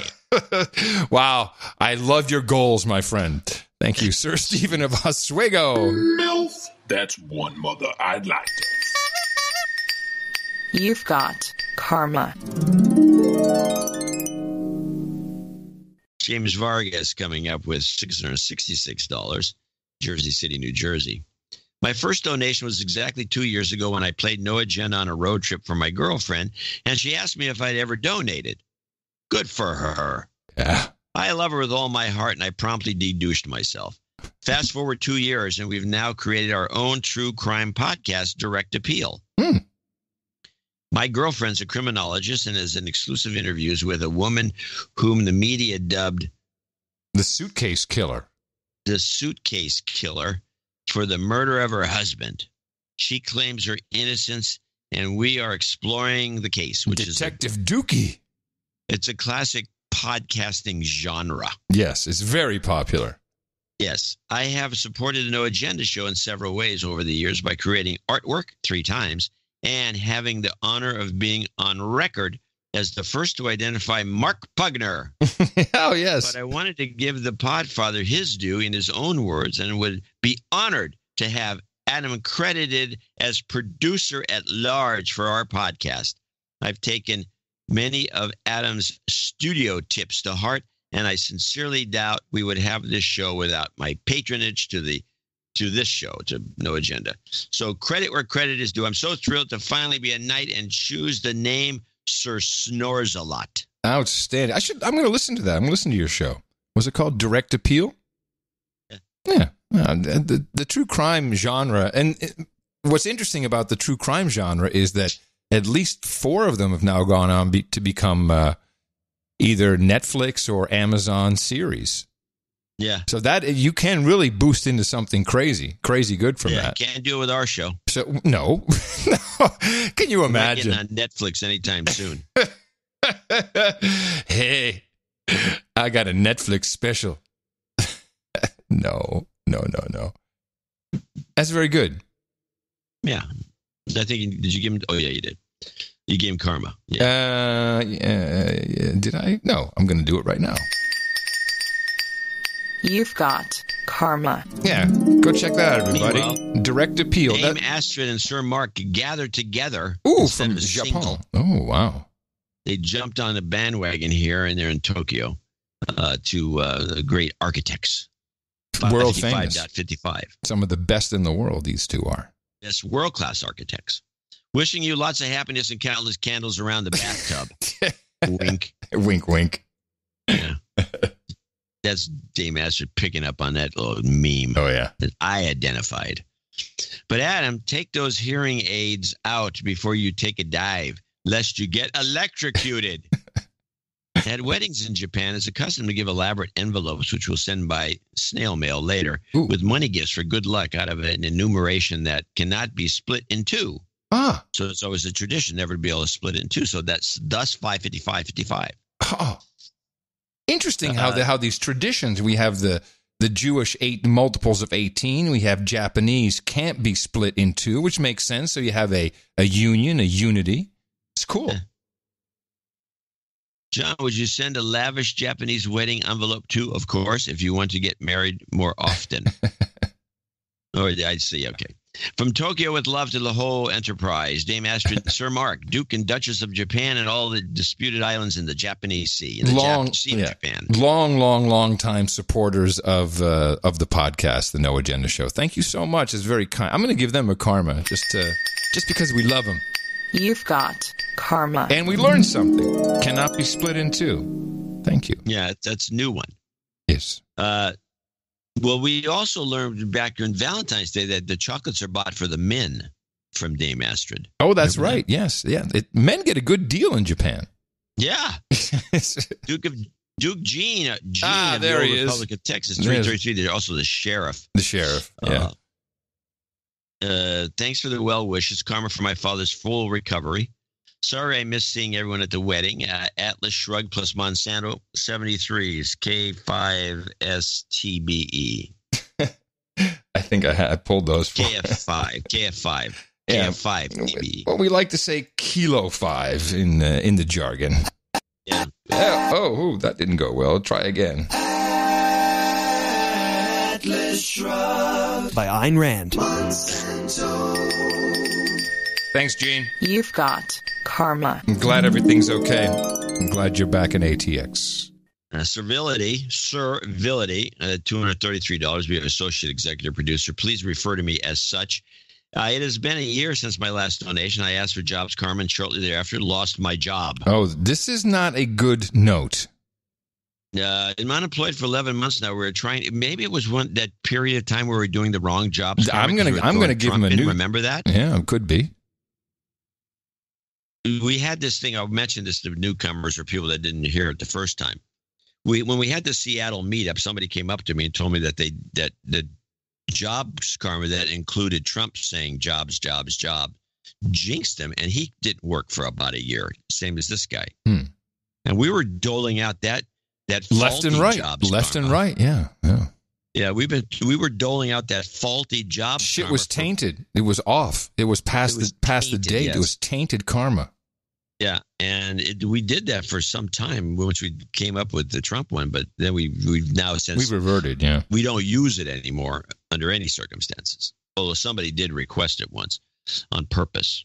Unemployed for 11 months now. We were trying to buy a business and sell our house, move to northern Minnesota, and find a house in the tough housing market. Little or no inventory in the North Shore, uh, and running into unexpected, undisclosed by seller delays, complications. Only request karma. Thanks for the great show. I hit my son, a Zoomer, in the mouth five years ago, and you're keeping his sanity as he struggles in the college campus culture. Excellent. Well, what do you think we should do? I mean, does, he he says I only want karma, but can we just give him the old school official Nancy Jobs karma? He didn't request it. I don't think we should give it to him. Okay. Thank you, servility. You've got karma. But I, but he should be at least aware of the fact that we had this. Uh, yeah, I don't know if that this was the defective product. So let's and had a recall. So let's put it this way: if he goes back and he finds out that he was using that he did receive the defective product, uh, we'd be more than happy to give him a full-on uh, Nancy Jobs karma. Uh, just let us know. Yeah. And of course, we do- we're, And then the we're always good re- for that. It's a, it's a worldwide recall. yes, anyone who had yes, if you had the Trump uh, Jobs karma, uh, this consider this your recall uh, and let your dealer know so that we can uh, set you straight and, and and do you right. Christopher Walker comes at two hundred dollars and one cent. In the morning, thank you for your courage. The No Agenda Show is the best podcast in the universe, without a doubt. Good tidings to you, Podfather and Mrs. Podfather, as well. As well. also to the author of the future best-selling Vinegar book. Good tidings, sir. ah, lest I forget the squeaky chair karma. Please, for the chair, or we will not hear the end of it. Now down to brass tacks. The show is great. In observance of Memorial Day, I'd like to ask for this. Karma, please, for the family and friends of Dustin Kreider. While we were in Iraq, I watched poor Dustin Kreider get shot in the face and chest during a test fire tragedy during 2004. There were no bands playing when he died, Ugh. and it wasn't very glorious. Okay, well, we'll give him some karma then. Well, and thank you for uh, helping everyone remember what Memorial Day truly is about. It is about the uh, the fallen uh, Yes. men and women, fallen, uh, and you know, for most, it's a mattress sale. I think is how we celebrate Yeah, that in America. sale. It's it's quite disgusting. Red Tag Day. Coming from a long line of military and intelligence operatives in the United States. Thank you for reminding us, uh, uh, Christopher. And uh, this, of course, uh, goes out to um, Dustin and his family. You've got karma. Very good. Sir Mark Wilson wraps things up from the he's the Baron of Glasgow. Gents, the show has been excellent as always. Can I please have a jobs karma with a side of I've got ants? Cheers, Sir Mark Wilson, Baron of Glasgow. Seems like we should be able to do at least a little bit of that. Thank you very much. You got your karma coming up in a few minutes after we hear from John and the ants. I got ants. I got ants. Jobs, jobs, jobs, and jobs. Let's I don't know if vote he for would- jobs. You've got karma. Always a fan favorite. Always. So I want to thank these folks there, the producers and executive producers for show 1141. Yeah, and I, I got uh, something in my P.O. box. P.O. Box 18209, 78760 in Austin, Texas. Uh, it was uh, from Sir D.H. Slammer and the whole family. It's always so cute. This is a family that listens to No Agenda as a family. Uh, Yeah, so it's wild. yeah, Sir D.H. Slammer, Dame Bang Bang. Radio days. We've got uh, uh, Sir Andrew, Master Emmett, and who am I forgetting here? Oh, here we are. The Baron and Baroness of the Central California Coast Ventura to Santa Cruz, Dame Simona of the Purple Goats, Sir Andrew Keeper of the Mountains, and Master Emmett selected this fine craft brew while we are spirit tasting in Big Bear, California. Hey, don't worry about it. The kids can hold their liquor. And he sent us a nice uh, six pack of Blonde 33, which made a lot of sense to us, of course. And it was nice to receive a letter in the P.O. box, uh, which was sealed by knight sealing wax and the signet ring. You too could have one of those, or you could just feel good about being a part of the No Agenda Value for Value network. Uh, it's very simple. You heard the show? Did you learn anything? Was it worth anything to you? If it was, send us that equivalent to uh, Dvorak.org slash NA or actually go over there and see what you could do because you can do a lot. Thank you to these executive producers and associate executive producers. Valuable credits that are accepted anywhere. True, true show business credits are recognized. Dvorak.org slash NA. That's right. We got it all right here. It's called Hitting People in the Mouth. You got to propagate. Our formula is this we go out, we hit people in the mouth.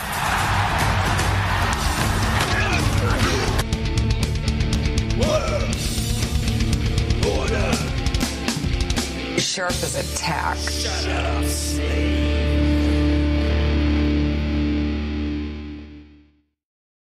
Okie dokie.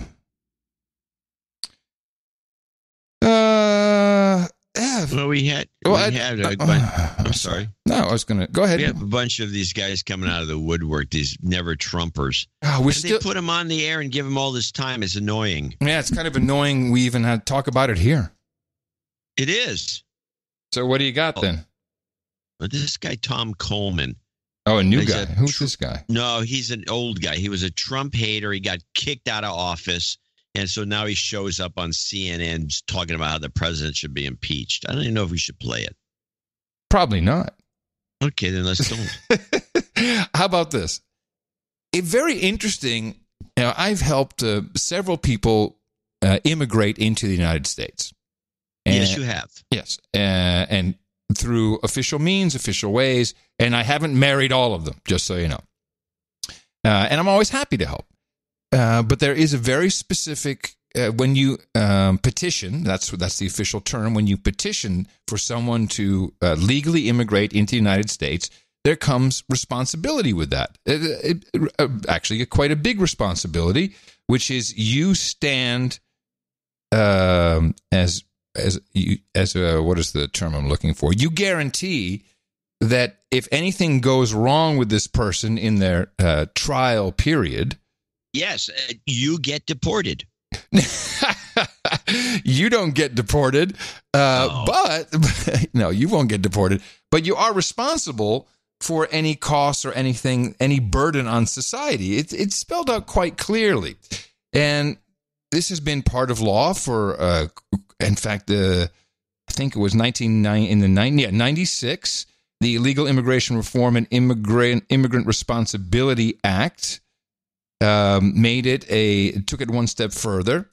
And the welfare reform, reform laws enacted by Clinton, who was then president, the law stated that immigrants should not depend on public resources to meet their needs. But this has never been enforced. Although I've always felt that, you know, I got this, I'm, I'm responsible. Something happens, I know they can come to me. Never happened. There was never a reason for it. But it turns out this thing has never been enforced. Never. And this includes social services. M- more interesting, Martha MacCallum on Fox News has no idea about this.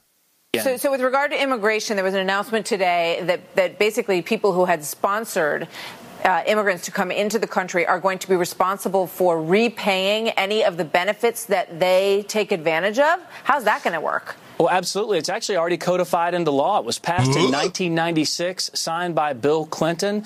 It just hasn't been enforced. Shockingly, the swamp takes over again. But this president says no more. It's time for those sponsors who said that they would pay for dollar for dollar matches to any federal program that paid for immigrants. It's time for them to have some skin in the game here. It, it's a kickstart actually to the merit based system we've talked about before. We want immigrants in this country. We're not even changing the 1.1 million immigrants that come come here every year. We're not changing that number, but we're changing the construct of those who come. We want people to contribute, not to be a drain on uh, the American economy or our social safety net programs that the American people deserve. Right now, right. immigrants are taking advantage of it, and the sponsors, by law, are supposed to pay for that, and it's time for them uh, to put in their fair share. So, let me ask you this. I am so. Yes, you want to say something? I said, yay. I was going to say this there are so many laws that apparently are just not enforced. Who knew? Oh, totally. Who knew about this? I didn't know that that wasn't enforced. It seems like a a, a non-brainer, just a no-brainer. So, hey, you know this person is no good. You got to pay up. You're responsible. We come knocking on your door. I'm surprised by this. Yeah, Martha MacCallum didn't even know it existed. Oh, how are you how are you going to make that work? No, I didn't know it existed. I don't think you can fault her. You didn't know it existed. Yes, she's a white woman. I can do whatever I want to say about her. Skin in the game. Skin in the game. Exactly. Where does this come from? The term skin the in the game. origin of the phrase is unknown. Really? Yeah, this it huh. has been commonly been attributed to Warren Buffett, hmm. referring to his own investment in his initial fund. Hmm. However, William Safire refutes Buffett as the source of the phrase, pointing to earlier instances. Hmm. They say it may come from Merchant of Venice, the Shakespeare's play in which the antagonist Shylock stipulates that the protagonist Antonio must promise a pound of his own flesh as collateral. Ah, that's your pound of flesh. There you go. That's the skin in the game. That would make sense. Maybe. Um, I have a. Uh, I received a clip. It's actually a video clip. I can play some audio from it from the No Agenda Technology Lab. Now, we did some testing on uh, one of our recent products that we were uh, discussing on the show. And this is your power line transmission. What are they called exactly? Power line uh, Ethernet? Home plug. Home, home plug. All right, your your internet butt plug, home plug. What it's called, home plug. That's what it's called. That's the. That's the standard. Yeah, one of the. There's two standards. Home plug is the one that's the most popular. Uh, and I and I say, well, uh, these things are a problem as far as I know because they interfere with ham radio operators and who knows what else. As so, one of our producers uh, took it into the lab, and let me see. I don't know if you want his. Uh, well, his YouTube name is uh, Fidget McFidgetron. So we'll just leave it at that. And here he is. All right. So, as per John's recommendation on getting a power line adapter for getting internet into other places of your home, I decided to get one for my garage because that's where my SDR hangout is. SDR is software defined radio, so he's listening to the ham bands. So I got a Ferrite choke on the receiving end and on the output end into the computer. And let me pull up fast.com right here and watch as the web browser pops up. There we go. Got a fast.com speed test going and look at all the QRM that this thing is putting out. And then watch as I close this web browser. A couple seconds. kills. And then there's a little right there. So what you obviously aren't seeing, but what you can kind of hear is the minute he starts to use a lot of data, those he's using a speed test website, it just completely fills up the entire band with noise. You'll hear it. So turn it up a little bit. I believe that is also caused by this power line adapter. So it looks like I'm gonna have to find a different way to get internet into the garage. Adam was right. This thing, these things cause a lot of QRM. QRM, Kinda baby. Because this was a really easy thing to do. Just plug in, plug in, pair it, and go. Then I'm gonna have to trench out my backyard. Oh well. 70 degrees. There you go, ladies and gentlemen, straight from the No Agenda Technology Labs. These things are great unless you are also a ham radio operator. Then they're not so great. I wonder what else they Well, uh, I interfere. wonder if his rig is rig. plugged into the power line that he's using for doing the data transfer to. Oh, so now we have stipulations. Okay. So I have stipulations. Now I want to know if you can have just a like an icon, one of these, one of these uh, battery powered uh, Right, not not plugged in. ham devices, hmm not plugged into the same system Bat- that you have. battery powered hand. I would like to have it checked. I mean, I agree. It's it's it's handy. I can see it being a problem if you're, uh, yeah. That software defined radio is really picky and it's about noise issues, and so you got a lot of noise. Okay, that's what was was was supposed to say. But the other, but the the main problem was it's the guy across the street that was in the olden days was bitching. So I don't think that he. that This is not a, a, a test that's the one I want to see. I want to see the test of the guy across the street. Okay. So in other words, I want the the power line adapter plugged in in a different house, hmm and does it affect him and his house? Because that was the bitch about the the ham guys early on. Is that you plug it in anywhere in the neighborhood, and all the ham guys are screwed. Right, so it, it may not carry. Okay. Well, we'll, we're sending it back to the lab, John. They will figure it out for us. Secondary testing. Uh, several articles showing up in the Washington Post, the New York Times. In fact, I'll, I'll give you some headlines here. Um, America's cities are unlivable. Blame wealthy liberals. New York Times. How San that's right. Francisco broke America's heart. The Washington Post. There's a Yeah. trash and rodent nightmare in downtown LA with plenty of blame to go around. Los Angeles yeah, Times. bubonic plague. Rats feasting on huge trash piles sparks fears of bubonic plague outbreak in LA. Yeah.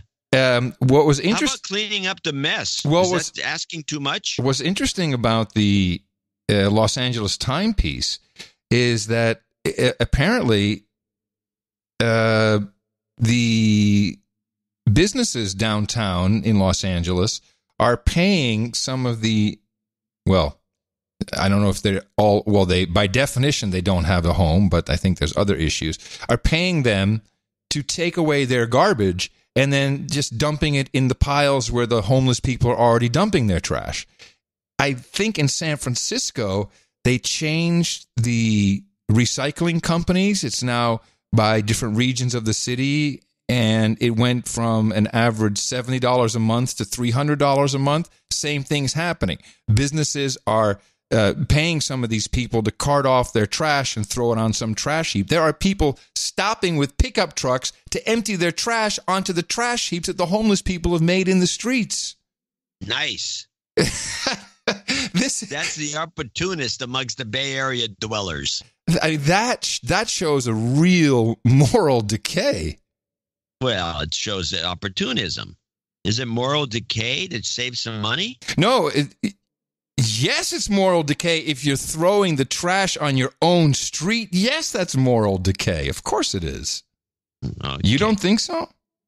That's Well, just I don't that. I wouldn't do it. I don't like the idea of these big trash heaps Well, no, crawling with rats and mice and God knows what. that's bad Vermin. news. That is bad news. Yeah. You know, yeah, that- well, that's San Francisco. That's it's a fact. There's a very interesting lawsuit. Um, it's let me see. It's Wheaton et al. versus Apple Inc. And what is interesting about this lawsuit is it claims that Apple um, sold iTunes information uh, to third parties for marketing purposes, and the information that they sold to these third parties was uh, entire playlists of what you were listening to.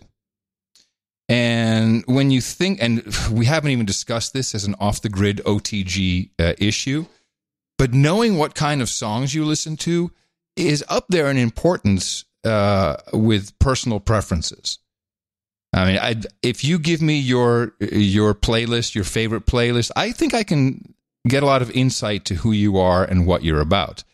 Um, of course, when it comes to um, online types of systems like Spotify or Pandora or iTunes, um, there's some concern when it comes to things like uh, video. In fact, there was a law on the books that uh, specifically forbade any uh, video store or library or any other uh, library type functioning service, whether online or offline, uh, to divulge what people are reading, watching, or listening to. And I think that's probably a, a, pretty good a, a pretty good law to have. I didn't even know it existed. It's called the Video Privacy Protection Act. It was passed in Congress in 1988, signed into law by Reagan. And I'll just give you the actual uh, text or the important part of it. Uh, it was prevented, uh, created to prevent what refers to as wrongful disclosure of videotape rental or sale records or similar audiovisual materials to cover items such as video games and future DVD formats. And they updated this over time to include online as well. I did not know that this law existed, and uh, it really makes me. Well, it, initially it made me question, like, "Well, crap! How, how how can how can this be taking place?" You know, Apple and isn't Apple supposed to be the the guys who who say whatever's on Oh, your yeah. iPhone stays on your iPhone? Yeah, privacy. Well, they're guys. liars. They're liars. But here, here's the here's the kicker. This uh, act was updated in 2012, no, 2013, with House Resolution 6671, which amended the Video Privacy Protection Act to allow video rental companies to share rental information on social networking sites after obtaining customer permission. Netflix lobbied for the change.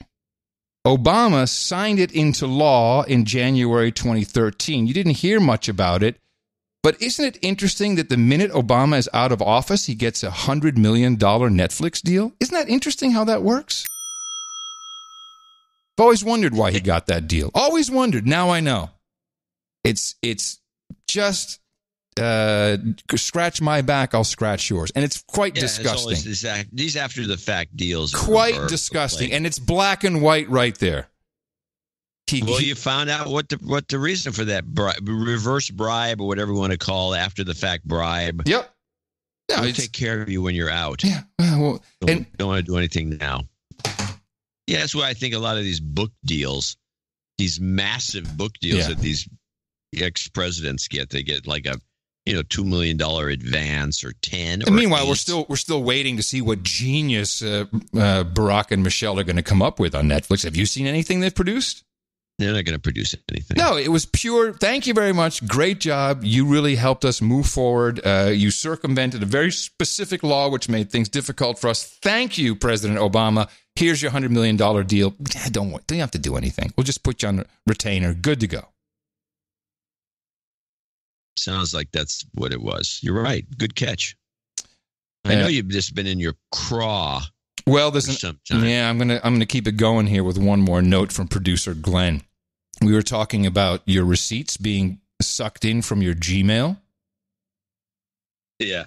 And that's how uh, google has this you know if you go to myaccount.google.com slash purchases then you'll see purchases that you didn't even make through google but if you have a gmail and i you know so there's certain things that uh, for some reason a confirmation email went to a gmail account i have and that's what shows up well, Glenn says in 2015 he got married, and before he got married, he spent hours and hours looking for a tux and a suit.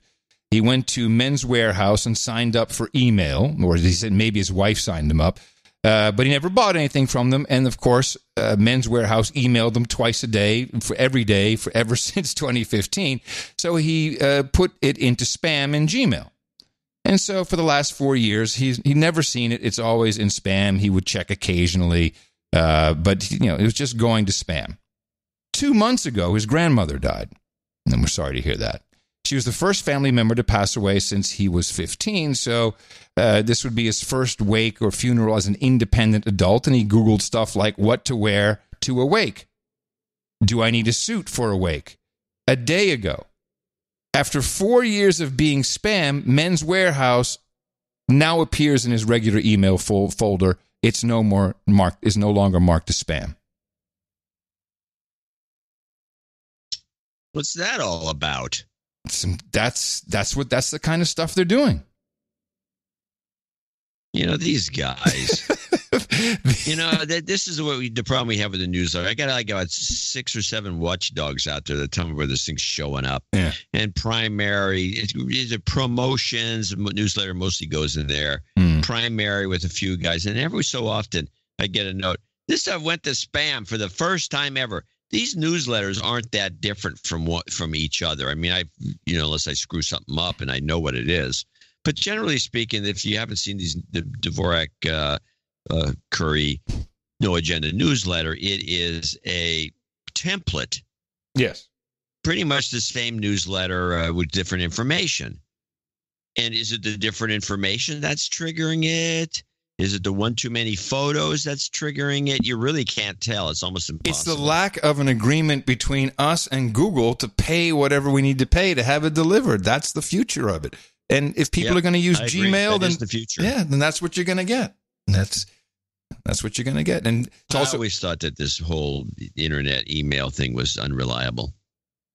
I always said when I was younger, younger in the 80s, when we were using MCI mail and then the internet mail started coming up uh, in big ways. It wasn't still up to up to speed, but you could get internet and it, you could get an email account from someone. I forget what the name of the company was that was providing this. But I always I wrote a, a column in the DEC Professional Mm. which was a magazine at the time. I said, you know, this mail is unreliable. And I cited all the reasons why it's unreliable because I thought it was. And I still do. And holy crap, did I get a bunch of hate mail. it's the greatest thing ever. It's not unreliable under any circumstances. Sendmail is the best protocol. Blah, blah, blah, blah, blah, blah, blah. You know, it's unreliable. Well, I'm going to disagree with you. Uh, the I I agree that Sendmail is a very reliable protocol. Uh, I think email is one of the best decentralized uh, systems that exists and has a lot of fallback and protections and delivery is pretty much guaranteed. The problem is providers of email and and the disincentivization of having anyone even understand how it works uh, having a little box that is just your family email server at home. Yeah they exist. thehelm.com is a good one to look at. Um, isps have um, worked very hard to block uh, you having that capability at home uh, they make sure that oh port 25 you can't send oh you can't send out email you might be a spammer um, so they've worked hard against doing that, and people got complacent. It's like, oh, I got Yahoo Mail, oh, I got the AOL Mail, oh, I've got Gmail, I got, and now you see, no, you don't. They have your mail, and there's a couple of good ones. Um, what's the one that everyone likes to use? The uh, the secure email service. Also that can that can go tits up any day too. Um, Ah, what is it? Everybody uses. All you're doing is describing, is making my point. No, I'm not. The emails, the email as a protocol and Sendmail is fantastic. ProtonMail, that's what it was. I'm not There's making your also point. Fastmail, which people like a Yeah, lot. but I'm, so I'm I'm I'm not making your point.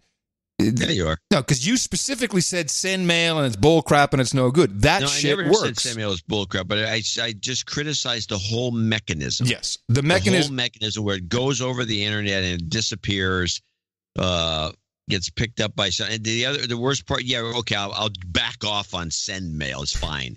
And there's some newer protocols that are even better. But that's beside the point. The mechanism as a whole is completely flawed there. And even if you have your own little home server, there's still these blacklists. You subscribe to a blacklist because you don't want to get up tons of spam, which you will get. Yeah. The whole thing's a mess. I think we should go back to just snail mail. I've, I've always said the internet should be shut down. I, I still say that. Yeah, said the man who. Uh, you can't say these things. I said it. It's Um, reset. Do a reboot. Well, I have. And by what other protocol besides Sendmail? What are you talking about? What is SMTP really? Sendmail is an application. But, I, I'm not gonna. I'm just gonna tell you what I th- think. okay, I just I just don't think there's. I think it's, unreliable. We can't get the newsletter to half the people. uh, I mean, it, I'm not counting people just don't open it. That's just a No, I understand, group. but I've received every single email, you know, two copies from two different email addresses ever since you started sending them out because I run my own server. And that has been disincentivized to to I mean, they could make an app on your phone that is an email server if anyone put their mind to it. But no, that's not the point. It's it's too good of a marketing opportunity. That's why, hey, that was the first thing Google came out with was Gmail. They knew early on once we capture that shit, then we have it all. And everyone went, okay, alrighty then, I, I'll use this. free free gigabyte. I got a gig, man, oh, and I can turn it into a drive. I remember all that. I thought, oh, okay, all right. Make a time code, please. That's your. I don't know what guy that is that you're portraying. We know that there, guy. We know that guy. He's been around. Well, um, I am still a fan of the general idea of dockless mobility in our cities. Um, I'm not sure it's it's going to get a lot worse before it gets better, but they finally uh, unleashed the bird bikes in Hoboken, New Jersey, home of Frank Sinatra, and it didn't go well. They are extremely popular and eco friendly, but e scooters are not getting a friendly welcome in Hoboken. People say riders are breaking traffic rules and making the road dangerous. CBS 2 cameras caught people riding on the sidewalk, running red lights, and going the wrong way down one way streets. It is such a concern on day three of the program that police have put out warning signs. I've seen so many kids out here riding around without helmets. They're weaving in and out. It's hard enough trying to avoid pedestrians. It's the most preposterous policy I've ever seen. The company that operates the scooters has set up information tents to educate riders on safety and traffic laws. Yo, brother. The keeper and I went uh, into town last night for dinner. Can I, before you talk that that anecdote, I do want to say, being in Austin for the wedding, and I haven't been in Austin. I, as I told somebody on the airplane, I have not been to Austin pre-scooter. I'm, I'm a P- PS. pre-scooter. Pre-scooter visitor. so I'm so I go there and there's all these scooters. It is unbelievable. Yeah. Anyway, now co- continue. Well, what I was what I was going to say is uh, we had, you know out here in the in the frontier, the sticks of Austin. You don't really you know they're here too. By the way, they, I've seen them in our in our neighborhood. People ride them. I guess all the way from uh, from UT maybe. I don't know where they're coming from, but so they're No, around. They can't get that far, can they? They can go. They can go twenty miles. These things. They can do a full hour. Yeah, if it's fully charged, eighteen or twenty miles. Uh, now it's you know it'll take an hour to do that, but yeah. I now I follow this very closely. I follow um, not just the laws, and Texas has some uh, some laws that are coming down, which will restrict the most important things, which is riding on the sidewalk and where you park them. Uh, the parking has gotten much better. Uh, although I still think it looks ugly, and if I just decided to throw some shit on the sidewalk, I would have a problem with it. But okay, I, I've I've said I'm a proponent of this. I see the benefit, but it will not work with the current culture. We can't even make bicycles work in the current culture uh, with cars and trucks. Austin will be the first, I guarantee you. Parts of downtown Austin will be shut down for automobile traffic. It will only be for battery crap, scooters, the mono wheels, the electric bicycles.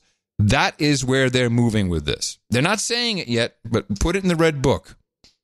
It's going to be e scooters only in massive portions of Austin. And it, makes only sense that it'll happen in uh, Amsterdam. I know it's, it has to happen.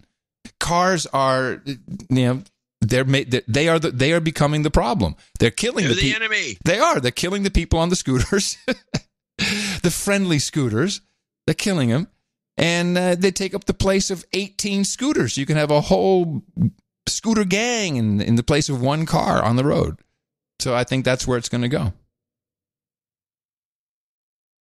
Well, there are some of uh, cities in this country already that have this no car zones uh, Mhm. downtown. Yeah, I'm just talking about Austin, the that hot metropolis.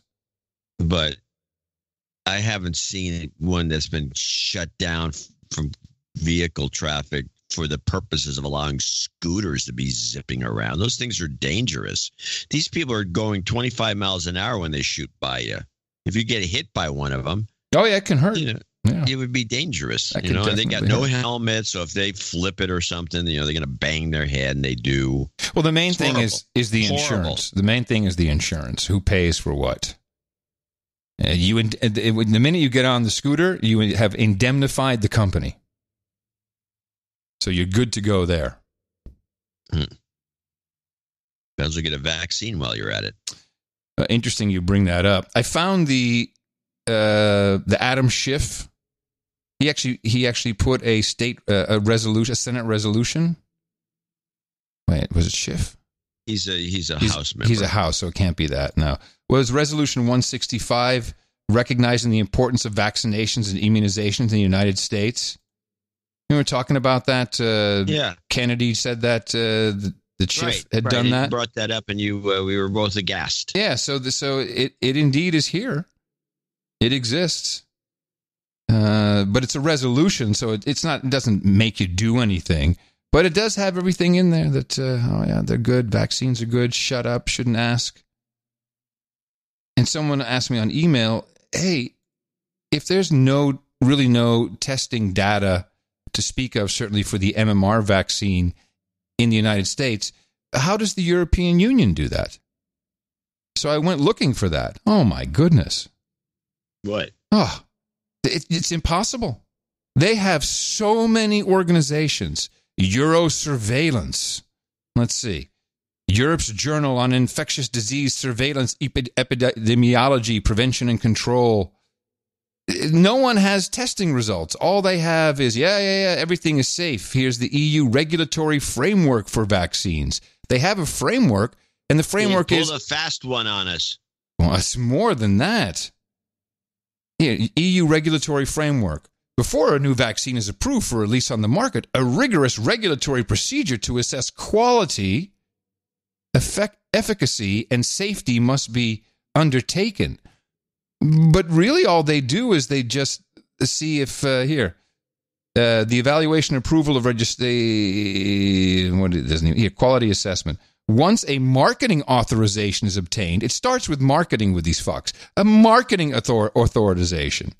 Not if it's safe. No, you got to get your marketing authorization first. Once that's obtained, each batch of vaccines must still be assessed for quality before release. This is done by both the manufacturer and an official European control laboratory. The activities of these laboratories are coordinated by the European Pharmacopoeia Secretariat within the European Directorate for Quality of Medicines. Hello? Can't find anything about safety. But the European Pharmacopoeia Secretariat also has the responsibility for developing legally binding monographs to ensure appropriate quality control and harmonized quality standards across manufacturers. What does that mean? Doesn't mean anything. No, it's just a bunch of gobbledygook. And and that's it. Oh, in addition, all vaccines and pharmaceuticals are monitored after release onto the market for adverse events. This surveillance allows both to refine the safety profile established during the product development and to detect rare events that may not have been apparent during the clinical development. It's always rare, isn't it? Yeah, rare. So I, I can't. If anyone can find anything, please, I'd, I'd appreciate that. Uh, I'm not very hopeful. And in New Hampshire, um, I think this is a is this an AP report? The Keene area child believed to be infected with measles. This report says this is Concord, New Hampshire. Was probably experiencing a reaction from the measles vaccine. So, public, you're not at risk of a measles outbreak, state, state health officials said. So now we've oh, about 5% of individuals vaccinated with the MMR vaccine develop a fever and rash reactions. These reactions happen because the body is responding to the vaccine. But the, the, everyone said, oh, the kid has the measles, which of course he did. I don't know. Yeah. It's just interesting. Well, we still have Ebola going on. In Congo? Or the pig Ebola? No, I got the Ebola report here. They're from, I think it's CBS. They, they got some, one woman, one lone reporter is in the area reporting on Ebola. And uh, this is her. Two year old Charity fights for her life in this Ebola treatment center. She was admitted today with her critically ill mother, Kabua Safi, who lies isolated in another plastic cube, too sick to tend to her little girl. There have been major advances in the treatment of Ebola since the last deadly outbreak in 2014. Now patients are put in these plastic cubes, which provides a protective barrier between the doctor and the patient. There's also a new vaccine, which should be good news for the Democratic Republic of Congo Sure. in its fight against its deadliest outbreak to date. Except this epidemic is in a war zone. World Health Ebola manager Dr. Michel Yao told us their hospitals are repeatedly being targeted by the more than 30 armed militia groups roaming the forests around the hot zones. Anytime that you have an incident, it takes weeks to recover. But the violence has not deterred Esperance Musinda from her work at the UNICEF Children's Unit. She herself is an Ebola survivor. Here, they don't wear protective gear as survivors are immune from further infection. The survivors look after babies suspected of contracting the virus, but who desperately need a loving touch in order to thrive. I'm not afraid of Ebola, Musinda tells us. I'm afraid of the violence. Yeah. So I uh, thought that was interesting. They have a bunch of these Ebola survivors, and they're just roaming around freely, and they do all kinds of work that you would know nobody in their right mind would do. And that situation is very fuzzy at best. and it's used, and they're using it on the ground as fear tactics. And uh, one of our producers uh, works with someone who's a family member of the current uh, Congolese king. We'll just call him the king. Um, and apparently, it, people were freaked out about the, the, the whole election. They they had or you know dousing themselves in alcohol or their hands if because you know they they voted uh, on the machines and they didn't like touching the machines. Everyone's you know cleaning their hands the whole time. People didn't show up. It's just used as control. And now the Chinese, the Chinese official state news is saying, "Hey, uh, uh, don't worry about it. We have a we have a vaccine in the works for pig Ebola. It's all going to be okay. Don't look over here. There's nothing wrong with our with our pork industry." oh, I haven't heard this. Well, it's the Chinese. I mean, We're talking about that porcine fever. Yes. The the African swine flu, I believe, is uh, the way they're calling it here. Vaccines tested. This is China News, the CNS, China News Service. Chinese scientists have successfully developed two vaccine candidates for African swine fever virus, the Chinese Academy of Agricultural Sciences announced Friday. Lab tests have shown the candidates are biologically safe and effective in virus immunization. Their safety and effectiveness indexes are superior to similar research achievements in other countries. So I guess we're good. It's all over. Don't worry about it. You know how the Chinese lie about this stuff. Yeah, well, then producing enough to inoculate every pig in China. It's no way. I don't think you could do it. No, the kid, the, the, the pigs that have died now is is already more than we have in America. It's crazy. Um, the BBC did a great job on uh, some more propaganda about Syria, and I'm not quite sure. oh, Do you have any idea why uh, the neocons want us to stay in Syria or want to still go and get Assad? Is it? I mean, is it something that I'm missing? Is it still the same old crap that we're dealing with?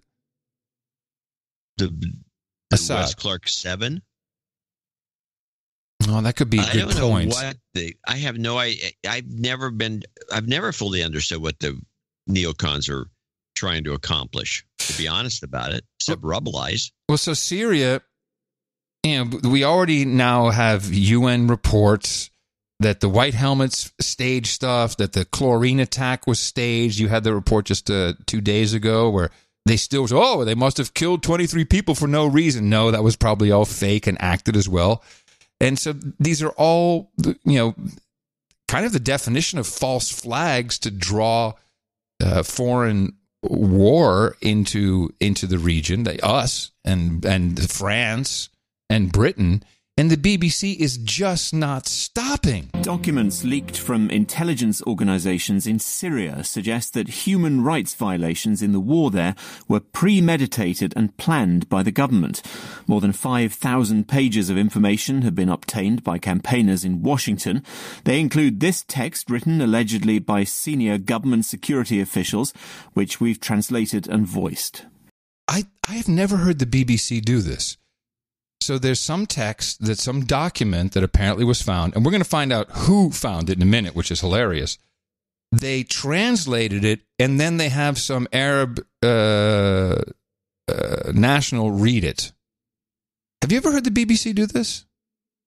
No, not really. It gives it a whole different spin instead of just, hey, here's what the document said. No, no, we got an actor to voice it. In Washington, they include this text written allegedly by senior government security officials, which we've translated and voiced. We received information that terrorists are being treated in Al Bur Hospital in Arastan in Homs. We suggest to bomb it with artillery. And three days later, the hospital mentioned was bombed.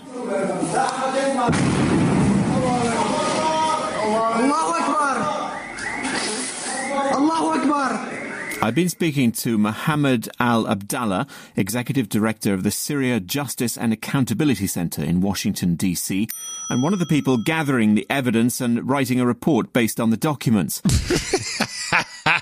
this is just like one of those jamoke sitting in, a, in an apartment in uh, in London. No, no, sounds. Oh yes, this is the Syrian observation guys in D.C. Mm-hmm. I asked him how he'd got hold of the information in the first place. So basically, these documents were rescued and saved from abandoned security intelligence buildings uh, from inside Syria during the conflict. And also, there's other sets of documents where were extracted by other organization, partner organization. You'll understand that many people have a vested interest in faking evidence in the Syrian conflict. You're absolutely sure that this is genuine stuff, are you? Absolutely sure this is genuine. It was rescued and preserved. By- Let me just step back. So this is the BBC, BBC World News, world renowned news. Have some guys on who are some think tank in Washington, D.C. for Syria. And he says, now there's a lot of fakery going on. Are you sure this is the real deal? Oh, yeah, we're sure. And that's cool with the BBC. To me, this is this is a great report. Organization, partner organization. You'll understand that many people have a vested interest in faking evidence in the Syrian conflict. You're absolutely sure that this is genuine stuff, are you? Absolutely sure this is genuine. It was rescued and preserved by our own team. We have oh. records and videos and films inside the security intelligence buildings. And we took this video inside the, the division also to counter the narrative that the ICRC continued to deny that humanitarian aid is ending in Assad's hand as well. Is what we've just heard potentially a smoking gun in terms of court evidence in the future against the Syrian government? I hope so, yes, absolutely. This is what we're trying to do. That's why we've rescued these documents, and that's why we've done this really lengthy process of analyzing thousands of pages. Do these documents prove, do you think, that President Assad is personally responsible for the atrocities that, do, that you document? We have, have not seen any documents signed by Bashar al-Assad himself in the, in the analysis so far.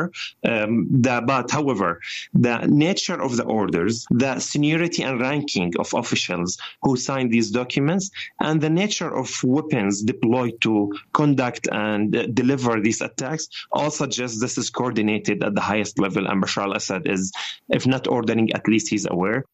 That was Mohammed Al Abdallah, who's head of the Syria Justice and Accountability Center, a campaign group in Washington, D.C. You're listening to the BBC World Service. Yeah. Outstanding work, BBC. No, I have no idea. I don't know why this continues, but it just it does continue. There's something, either there's some untold cache of oil that we're not. It could still be the anything. Russia thing, you know, the Russians. Could be Russia. Could have something to do with Russia. Could have something to do with Israel. Yeah. Ah, it's just a head shaker to me that that, that the BBC. I mean, that is clearly propaganda. Hey, yeah. You sure this is the real deal? Oh yeah, yeah. We we took we got it ourselves. We got video of us getting it. yeah. I don't know. Did you? Another Uh, thing? Uh, let me get another clip here. What is this? This is the. Um, this is something kind of interesting. I don't know anything about this, and I heard this clip. I played this insider dope on the. Uh, oh no, this is something else. So they had this woman on. I thought this would be kind of a, just an interesting educational segment. This woman uh, is an ex CIA. Uh, she's a specialist in disguise. She's the disguise specialist at the agency, mm-hmm. and her name is Jonah. Jonna. Jonna Mendez. Did you mention this to me maybe after a show or something? I about think I woman? sent you the clip. Yeah. Oh, yeah. That's right. Yeah. And this is her talking about how people use aliases. And I thought, I just for some reason found this to be fascinating because I didn't know any of this. Alias uh, names CIA are closely controlled, they are managed, they are assigned to you. My name is number two. You end up with a name for your entire working career. Come again. Your true name is never on paper overseas. Groovy, baby. Oprah would probably not be one of those names. This is my wife, Oprah. Any name that really drew attention would not be one of those names. Cunningham, was it? Richie Cunningham could be, but we always had a middle initial. Danger's my middle name. You always had three names. I mean, you could abbreviate the middle initial, but you always had three names. Huh. The three names is interesting. Exactly. Huh. Because whenever whenever we got someone killing a whole bunch of people, usually three names. Yep. Which means they had a CIA name to start with, possibly. That's possible. I love that. Fantastic. So I'm going to show my name. Uh, sorry. So as soon as she said, yeah, before you go on, before as soon as she said everyone is assigned three names and you tend to use three, and I thought about your old theories about these phony, the ones we had in the six week cycle was always some phony Always, three always name three guy. names. Always a three namer. Yeah. Adam Clark Curry. I'm going to show my support by donating to No Agenda. Imagine all the people who could do that. Oh, yeah, that'd be fab. Yeah, on No Agenda. In the morning. And in fact, we do have a few people to thank. Not many of them with three names. Starting with that we Mark know of. Hall. Oh, Sir Mark Hall. Let me just read this for a second. Dear Adam and John, great shows of late. Happy belated birthday, John, and a hundo to Adam for boxes and packing tape. Keep up the good work. Really enjoyed the recent wedding of the keeper and the crackpot. So good to meet members of the round table. Enjoyed talking to Mimi and was even granted a brief audience with John C. Dvorak. Truly, the wedding of the year. And you were there, my friend. $167.69. Mm, merci. Sir Rod, $150. Also an appreciation for the wedding. This is uh, this is uh, Roderick. Roderick Velo. Yeah, he he finally became a knight. He got his ring and everything, so he's Sir Rod now. Very nice. Sir Sander in Zaandam, hmm uh, $103.82. Mark Van Dyke Wait a minute, that's Voice Zero. Yeah, I know. I saw this too. Aw, ITM gents, and thank you for your courage. Congratulations with your marriage, Adam and Tina, and heck, why not to you as well, John and Mimi. Lol. Much love from your guy and family behind the scenes, Mark, Void Zero, Iris, and Steven. Karma for the newlyweds, an original Bingo Boom Shakalaka and a Bingo Boom Shakalaka little girl, please. And may fortune be on all paths of no agenda hosts and listeners. Lots of love. Thank you, Mark. You didn't have to do that. It's very, very sweet of you and and Stephen and uh, and Iris. Thank you. And I'll uh, I will of course get you some Bingo Boom Shakalaka. Brian Kaufman in Scottsdale, Arizona, 7575. Baron Mark Tanner in Whittier, California, his twice monthly 6789. Stephen DeGina in Bethpage, New York, 5746. I have a note here, by the way. He needs a de-douching for starters. You've been de-douched. Uh, yeah, he says a Scandinavian expat living in New York, been listening since Brexit. Thank you for your humor, insight, and shenanigans. If you have the time, he wants a de-douching. You got that, and some karma will put at the end for you. Um, now I have Hi- Hilco Santima. Santima. Five six. Hilco Hilco Santama. Sant- Santima. uh, we have a big yellow thing. He's got some birthday yeah, thing no, th- coming up. there's a couple of things that went wrong here. Um, so we we got his donation on the previous show. Somehow we wished him happy birthday, which was a little too early. Uh, but he actually became a knight, so uh, he will be Sir Ruard of Markness. and he wants Beaujolais and Reblochon. Beaujolais et, et Reblochon. What is this? Is this a wine I'm not familiar with? Reblochon, isn't that a cheese? I have no idea. Beaujolais, I know. Um, he will be 46 on the 29th. In the morning, John and Adam, with all the new attendance at the round table on the last show, I got thinking about my own journey to knighthood.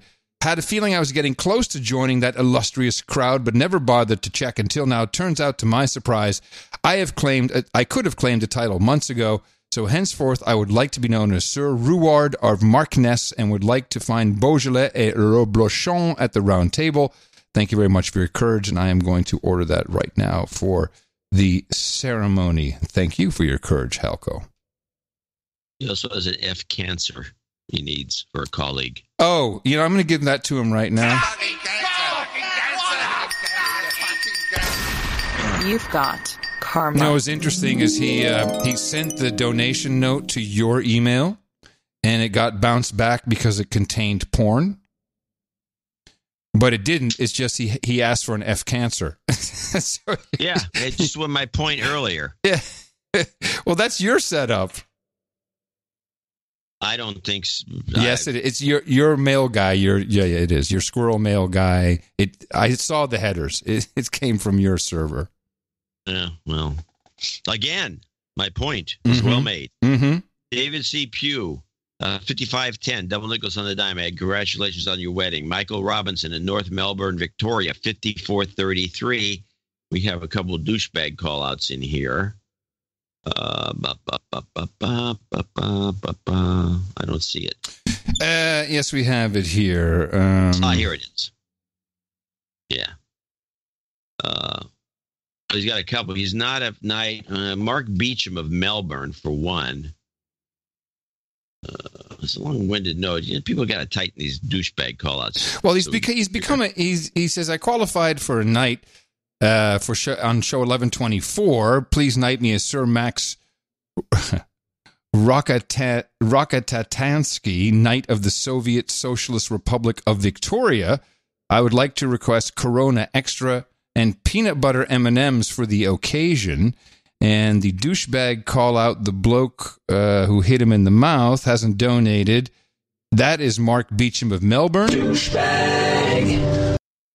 Uh, and that's the only one. So let me just make sure he is on the list for knighting today, which I think he is.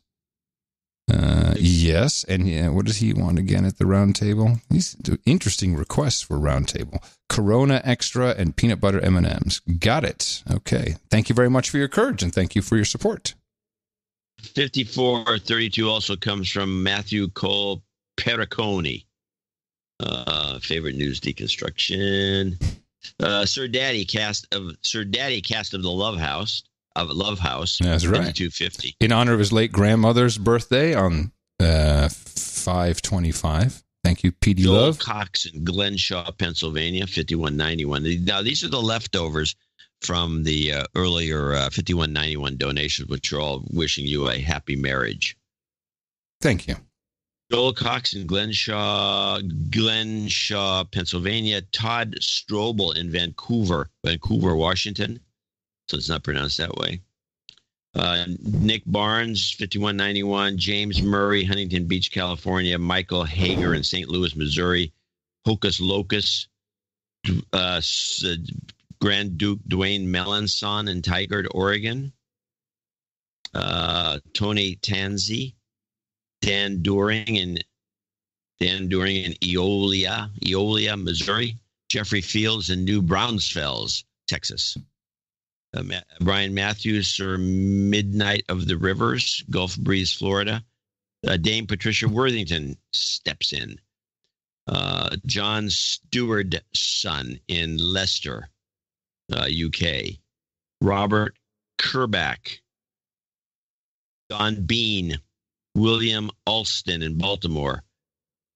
Chris Boulton, and that's the end of that little group. Thank you. Thank you very much Uh, uh, Adam, from thanks you. me and the keeper. And uh, a reminder: we have a special full-length Sir Chris Wilson, uh, Crackpot and the Keeper uh, end of show song, which is it's an original tune and well worth listening to. Sir Chris Sundberg, Knight of the Vortex Ring State from Mercer Island, $51. Scott Nelson in Melbourne, Florida, $50.01. Now, the following people are $50 donors, name and location if available. My Mitchell Kaufman in Hillsboro, uh, Oregon. Joe Winky in Santa Rosa. Ah, that's G. Joe from uh, Jambo. Jambo Joe. Jambo Joe. Mhm. Jambo. Jambo. Go look up the Jambo products. They're fantastic, everybody. You got some uh, new ideas. Uh, Anonymous G in Raleigh, North Carolina. Julian Robbins in Aptos, California. Jesus Allen in Austin, Texas. And last but not least, Baron Allen Bean over here in Oaktown, Oakland, California. I want to thank all these folks for producing show 1141.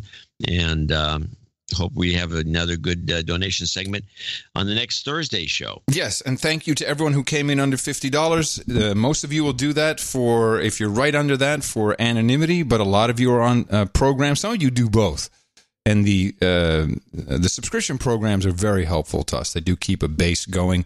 Uh, there's uh, very low ones, you know, four dollars a month, five dollars a month. You can do 11 11s, 33s. There's a number of good ones. Please check out all the opportunities at Dvorak.org slash NA. And thank you for your courage. Uh, Karma's as requested. Jobs, jobs, jobs, and jobs. Let's vote for jobs. Yay!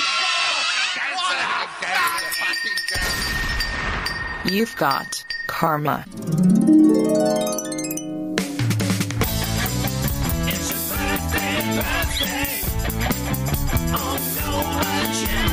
It's kind of short, actually. We only have two birthdays to look at. Santama, who turns 46 on the 29th. And tomorrow, May 27th, which is actually already today, 54 years old and trips around the sun, our very own Sir Chris Wilson. We say happy birthday to both of you from everybody here at the best podcast in the universe.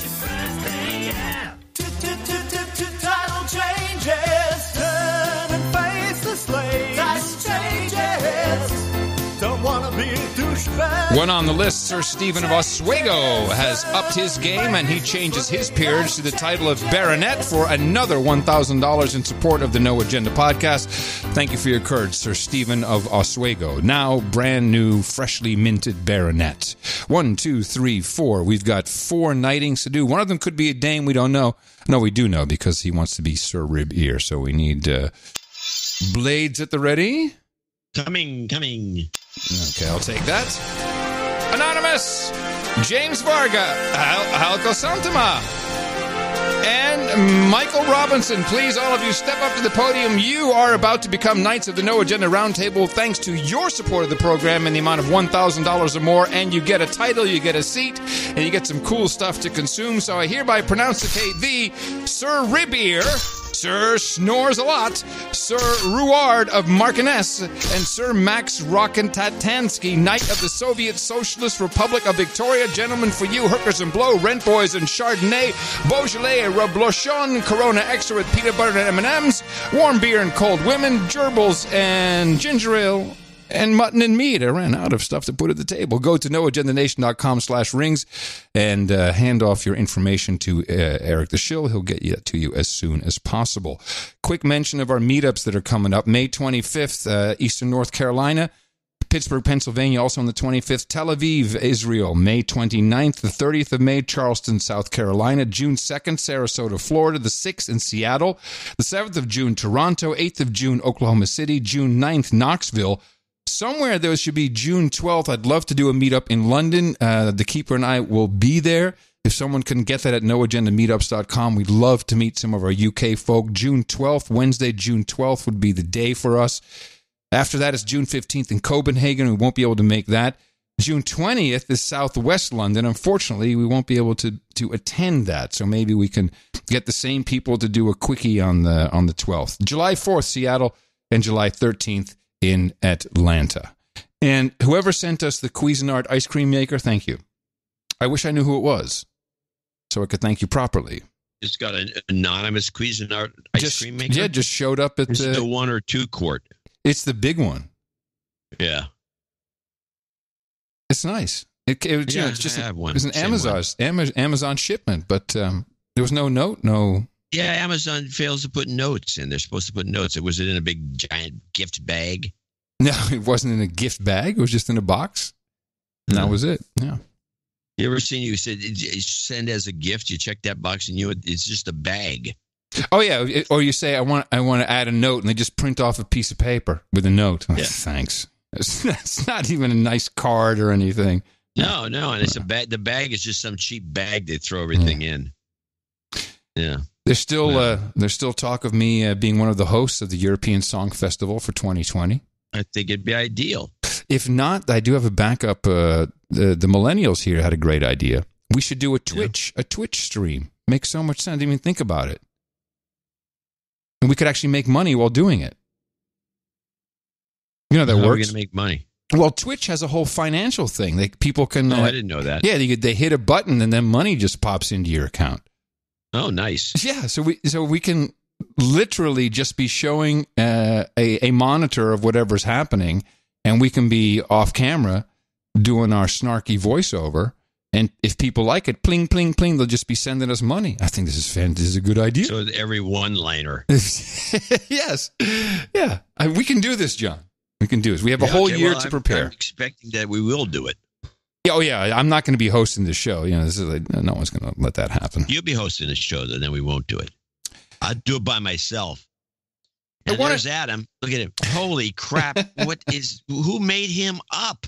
Do they have makeup artists there on the show that they actually know what they're doing? He looks like an old transvestite. Oh, okay, thank you. I wanted to I wanted to say something about the. Let's hope he doesn't dance. Yeah, no kidding. that would be Took bad. a while on that one. Oh boy. Uh, this milkshake mania. I wanted to talk about that for a second. Oh, jeez. I never even thought about talking about it, but you're right. It's probably worth talking. We probably should talk about it. Yeah, it's very important. So Nigel Farage uh, was walking around. Someone threw a, a milkshake over him. This is now a thing, you know. And uh, and, oh, it was interesting. Even on the someone someone sent me a link from some a hole somewhere on Reddit saying, "Oh, John and Adam should be worried. They're going to be throwing milkshakes." And I want to, oh, yeah. and I want to say, so so- now, don't you remember the pie era? Well, no, Yeah, there's a, a little era about seven, eight years ago where people got a pie in the face by Well, I- some pie guy. this Well, some no, major I'm- pie character. I'm I'm going. Bill Gates got a pie in his face. Well, milkshakes are different for a very specific reason. But first, I want to go back to um, the year 2000. Uh, Pim Fortuyn.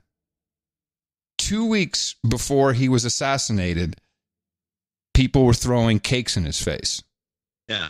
And when, and I, I did some research on this, there is a, uh, when people start throwing food, it is an actual act of desperation because food has value and um, and more importantly there is a connection between us and uh, primates apes chimpanzees who throw shit and i believe that the milkshake particularly the chocolate milkshake is a very primal thing that is deep in us it, as it's a, a metaphor for throwing feces at somebody but it is Did, what did Farage have a chocolate shake? Yes, chocolate shake, I believe. It is an extremely violent act, and uh, it should not be tolerated. It's not funny, and it it pretty much always leads to something bad. The people who do this have a screw loose. It's it's different from hitting someone, which is a whole different area. But when you do the milkshake, it is a primal scream of uh, frustration, and it, and anyone who does that is on is in my mind borderline dangerous. Yeah, I agree. It's a it was a strawberry shake. Well, that's What does that mean? well, I, I don't know. It's not dark enough to look like feces, but I think the, uh, the comparison still holds. Um, it is. It cannot. It's not funny. It should not be uh, allowed. People who do this need to be dealt with. It is very, very violent, and it and people who do this are on the verge of a uh, a psychological breakdown. Yeah, well, this guy was a fanatical Remainer and a Corbyn fan. Yeah.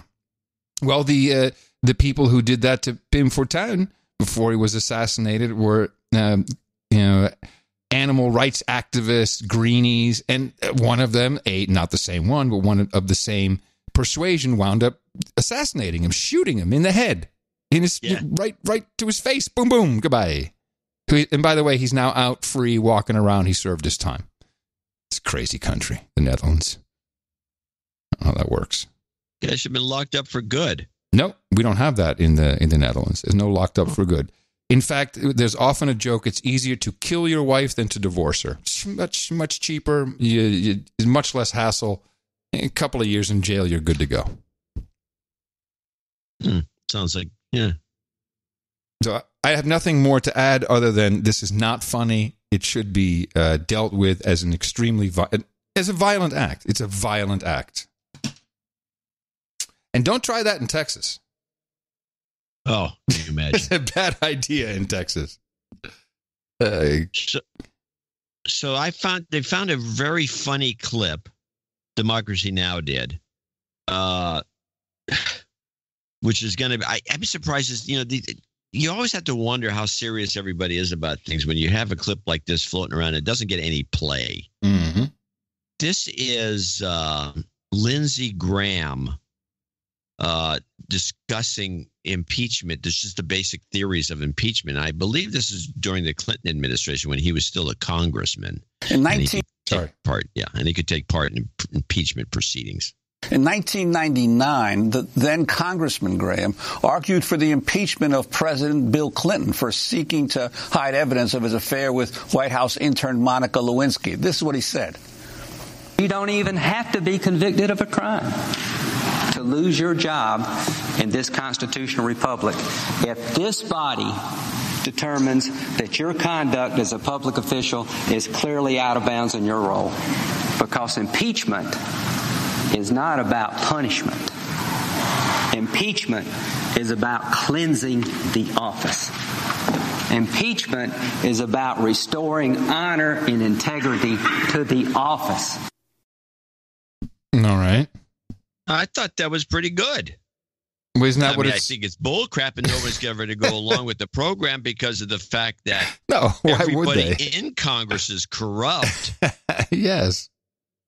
So they're not, you know, they feel guilty about, you know, well, he's corrupt. Is he more corrupt than I am? I don't Hmm. know. is he more corrupt than Adam Schiff? That guy. Did you hear what happened to Naomi Wolf? Did you hear this? No. Oh, this was fantastic. So she's written a book. Um, I don't have the whole backstory. I, let me see. I have the book here somewhere. The book is it's about outrage, and killing killing people for just for who they love. Here it is. Uh, I always get Naomi Wolf com- uh, mixed up with Naomi Klein. you know, this is a show problem in general.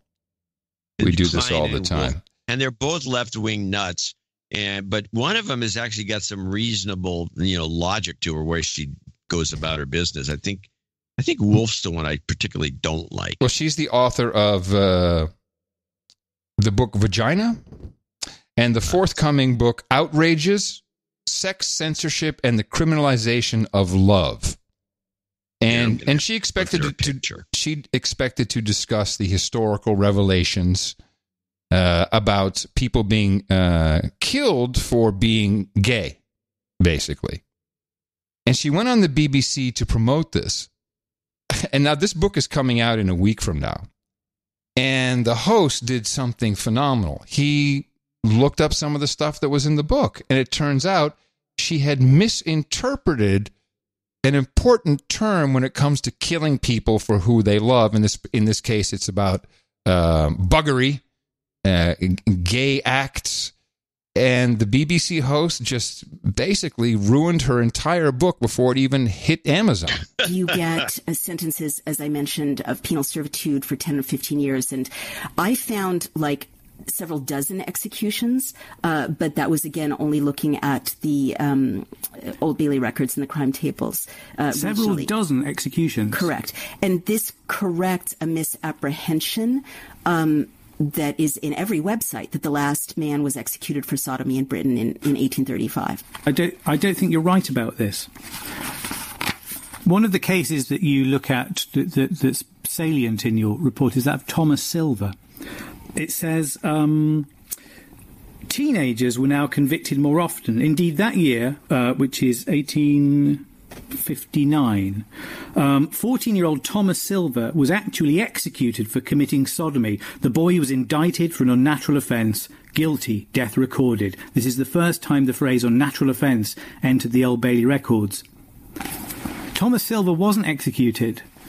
Death recorded. I, I was really surprised by this, and I, I, I looked it up. Death recorded is the, is what's in. I think most of these cases that you've uh, um, you've identified as executions. It doesn't mean that he was executed. It was a category that was created in 1823 that allowed judges to abstain from pronouncing a sentence of death on any capital convict whom they considered to be a fit subject for pardon. I don't think any of the executions you've identified here actually happened. Well, that's a really important thing to investigate. what is your what is your understanding of what, what death recorded means? Death recorded. This is also from. That, I've just read you the definition of it there from the Old Bailey website. But I've got here a newspaper report about Thomas Silver, and also something uh, from uh, from the prison records that that show the date of his discharge. The prisoner was found guilty and sentence of death was recorded. Yeah. Ah, But see, but the, the jury next- recommended the prisoner to mercy on account of his youth. See, I think this. I think this is a kind of. When I found this, I didn't really know what to do with it because I think it is. I think it's quite a big problem with your argument. Also, it's the nature of the offence here. Thomas Silver committed an indecent assault on a six-year-old boy. So, uh, oops. Oh God, that's horrible. What happens? The publisher is going, well, we have fact checkers, but ultimately we rely on the author. What happens in a case like this? I mean, can they pull the book back still, or is Oh, it yeah. printed? Yeah, they, they actually should pull the book back. Of Of course they have to. The whole premise of the book is about being condemned and uh, and killed for loving who you love. This is that's like your vinegar book, you know. Like all of a sudden, you know, well, you- vinegar kills you. I don't know. Something would happen. I think you're smart actually for for delaying the release. Make sure you have all your your T's crossed and your I's dotted. You're very Finding out more and more weird stuff about vinegar. We're doing some more. Mimi's gotten into this like, vinegar thing now, so she's Wow. digging up crazy stuff. She's taken the shaming to heart. Well, All right, we have um, a number of end of show clips. Uh, as mentioned earlier, uh, Sir Chris, the drunken, the drunkard minstrel. The song is titled "The Keeper." It's an original, uh, soon available on compact discs and cassettes. We have an end of show from Tom Starkweather, always fun, and Jesse Coy Nelson, who's just been knocking it out of the park recently. So that is coming your way in a moment. If you're listening to us on noagendastream.com, we've got the Mark and George show, uh, episode number 29 on deck for that. And I am coming to you from the frontier of Austin, Texas. It's the capital of the Drone Star State. We're in FEMA region number six on the governmental maps in the morning, everybody. I'm Adam Curry. and I'm from northern Silicon Valley, where we're still waiting for 1999 KW4 to go swinging by. I'm John C. Dvorak. We return on Thursday right here on No Agenda. Please remember to support us at dvorak.org slash NA. Until Thursday, adios, mofos and such.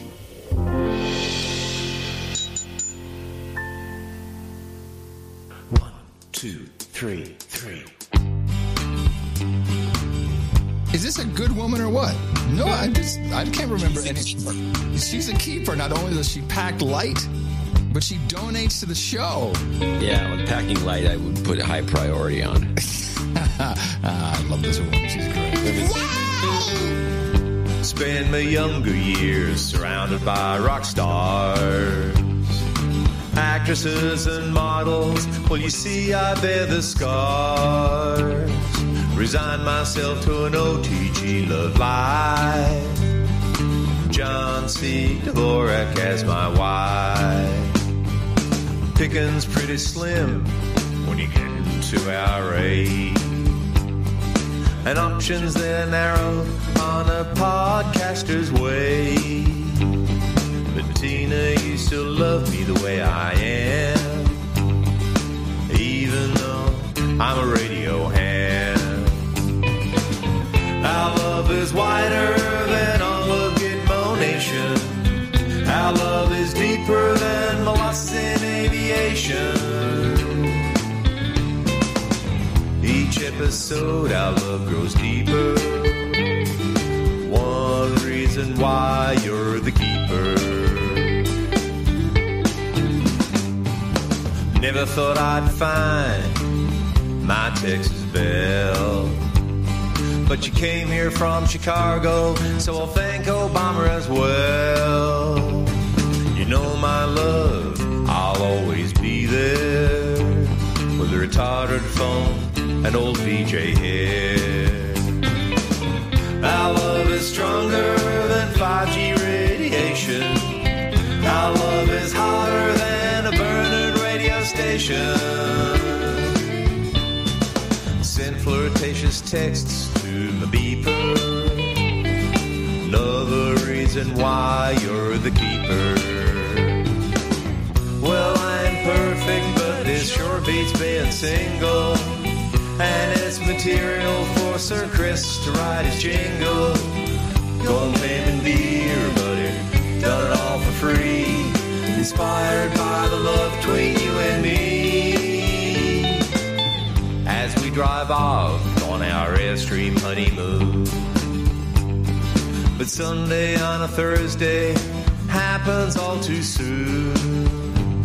Can't monetize the love between you and me. Make the perfect exit strategy. Our love is wider than all of Gitmo Nation. Our love is deeper than the loss in aviation. Our love is stronger than 5G radiation. Our love is hotter than a burning radio station. Tourette's goes way when I see you. Reason you're the keeper. Then I saw your face, now I'm a believer. Another reason you're the keeper. You're skinny and it don't cost much to feed you. Another reason you're the keeper. Health insurance costs, they're getting steeper. Another reason you're the keeper. Turn off my hearing aid so I can hear. Another reason you're the keeper. Nickname according to the chat room Tina the Keeper. Tina the Keeper. and, and she'd be keeping you. So I walked into the cabinet room. You had the uh, the group, Crying Chuck, To watch what happened in the White House would make your jaw drop. Crazy Nancy. I tell you what, I've been watching her, and I have I have been watching her for a long period of time. She's not the same person. Job, Bob, boss. J- j- job, Bob, boss. She's not the same person.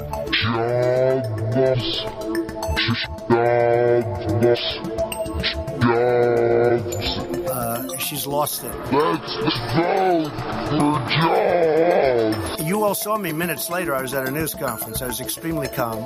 Calmer than you are. I was probably even more so in that room. So I was extremely calm. Calmer than you are. Let's vote for jobs. In the morning, generals gathered in their masses. This is a memo that describes how we're going to take out seven countries in five years. Just like witches at black masses.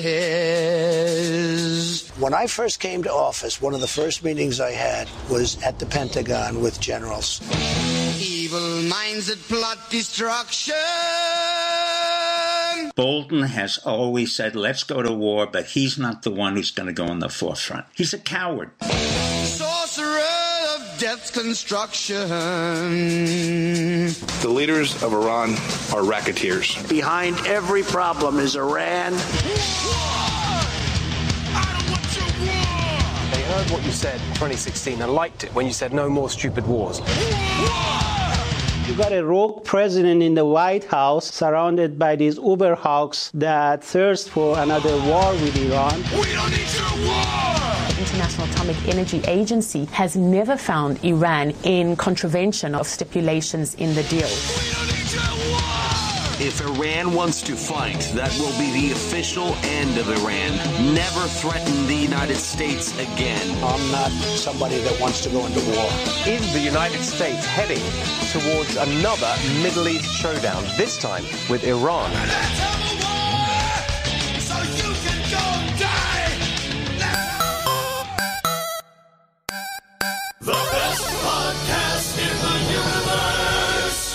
Universe. Dvorak.org slash N-A. Sharp as a tack.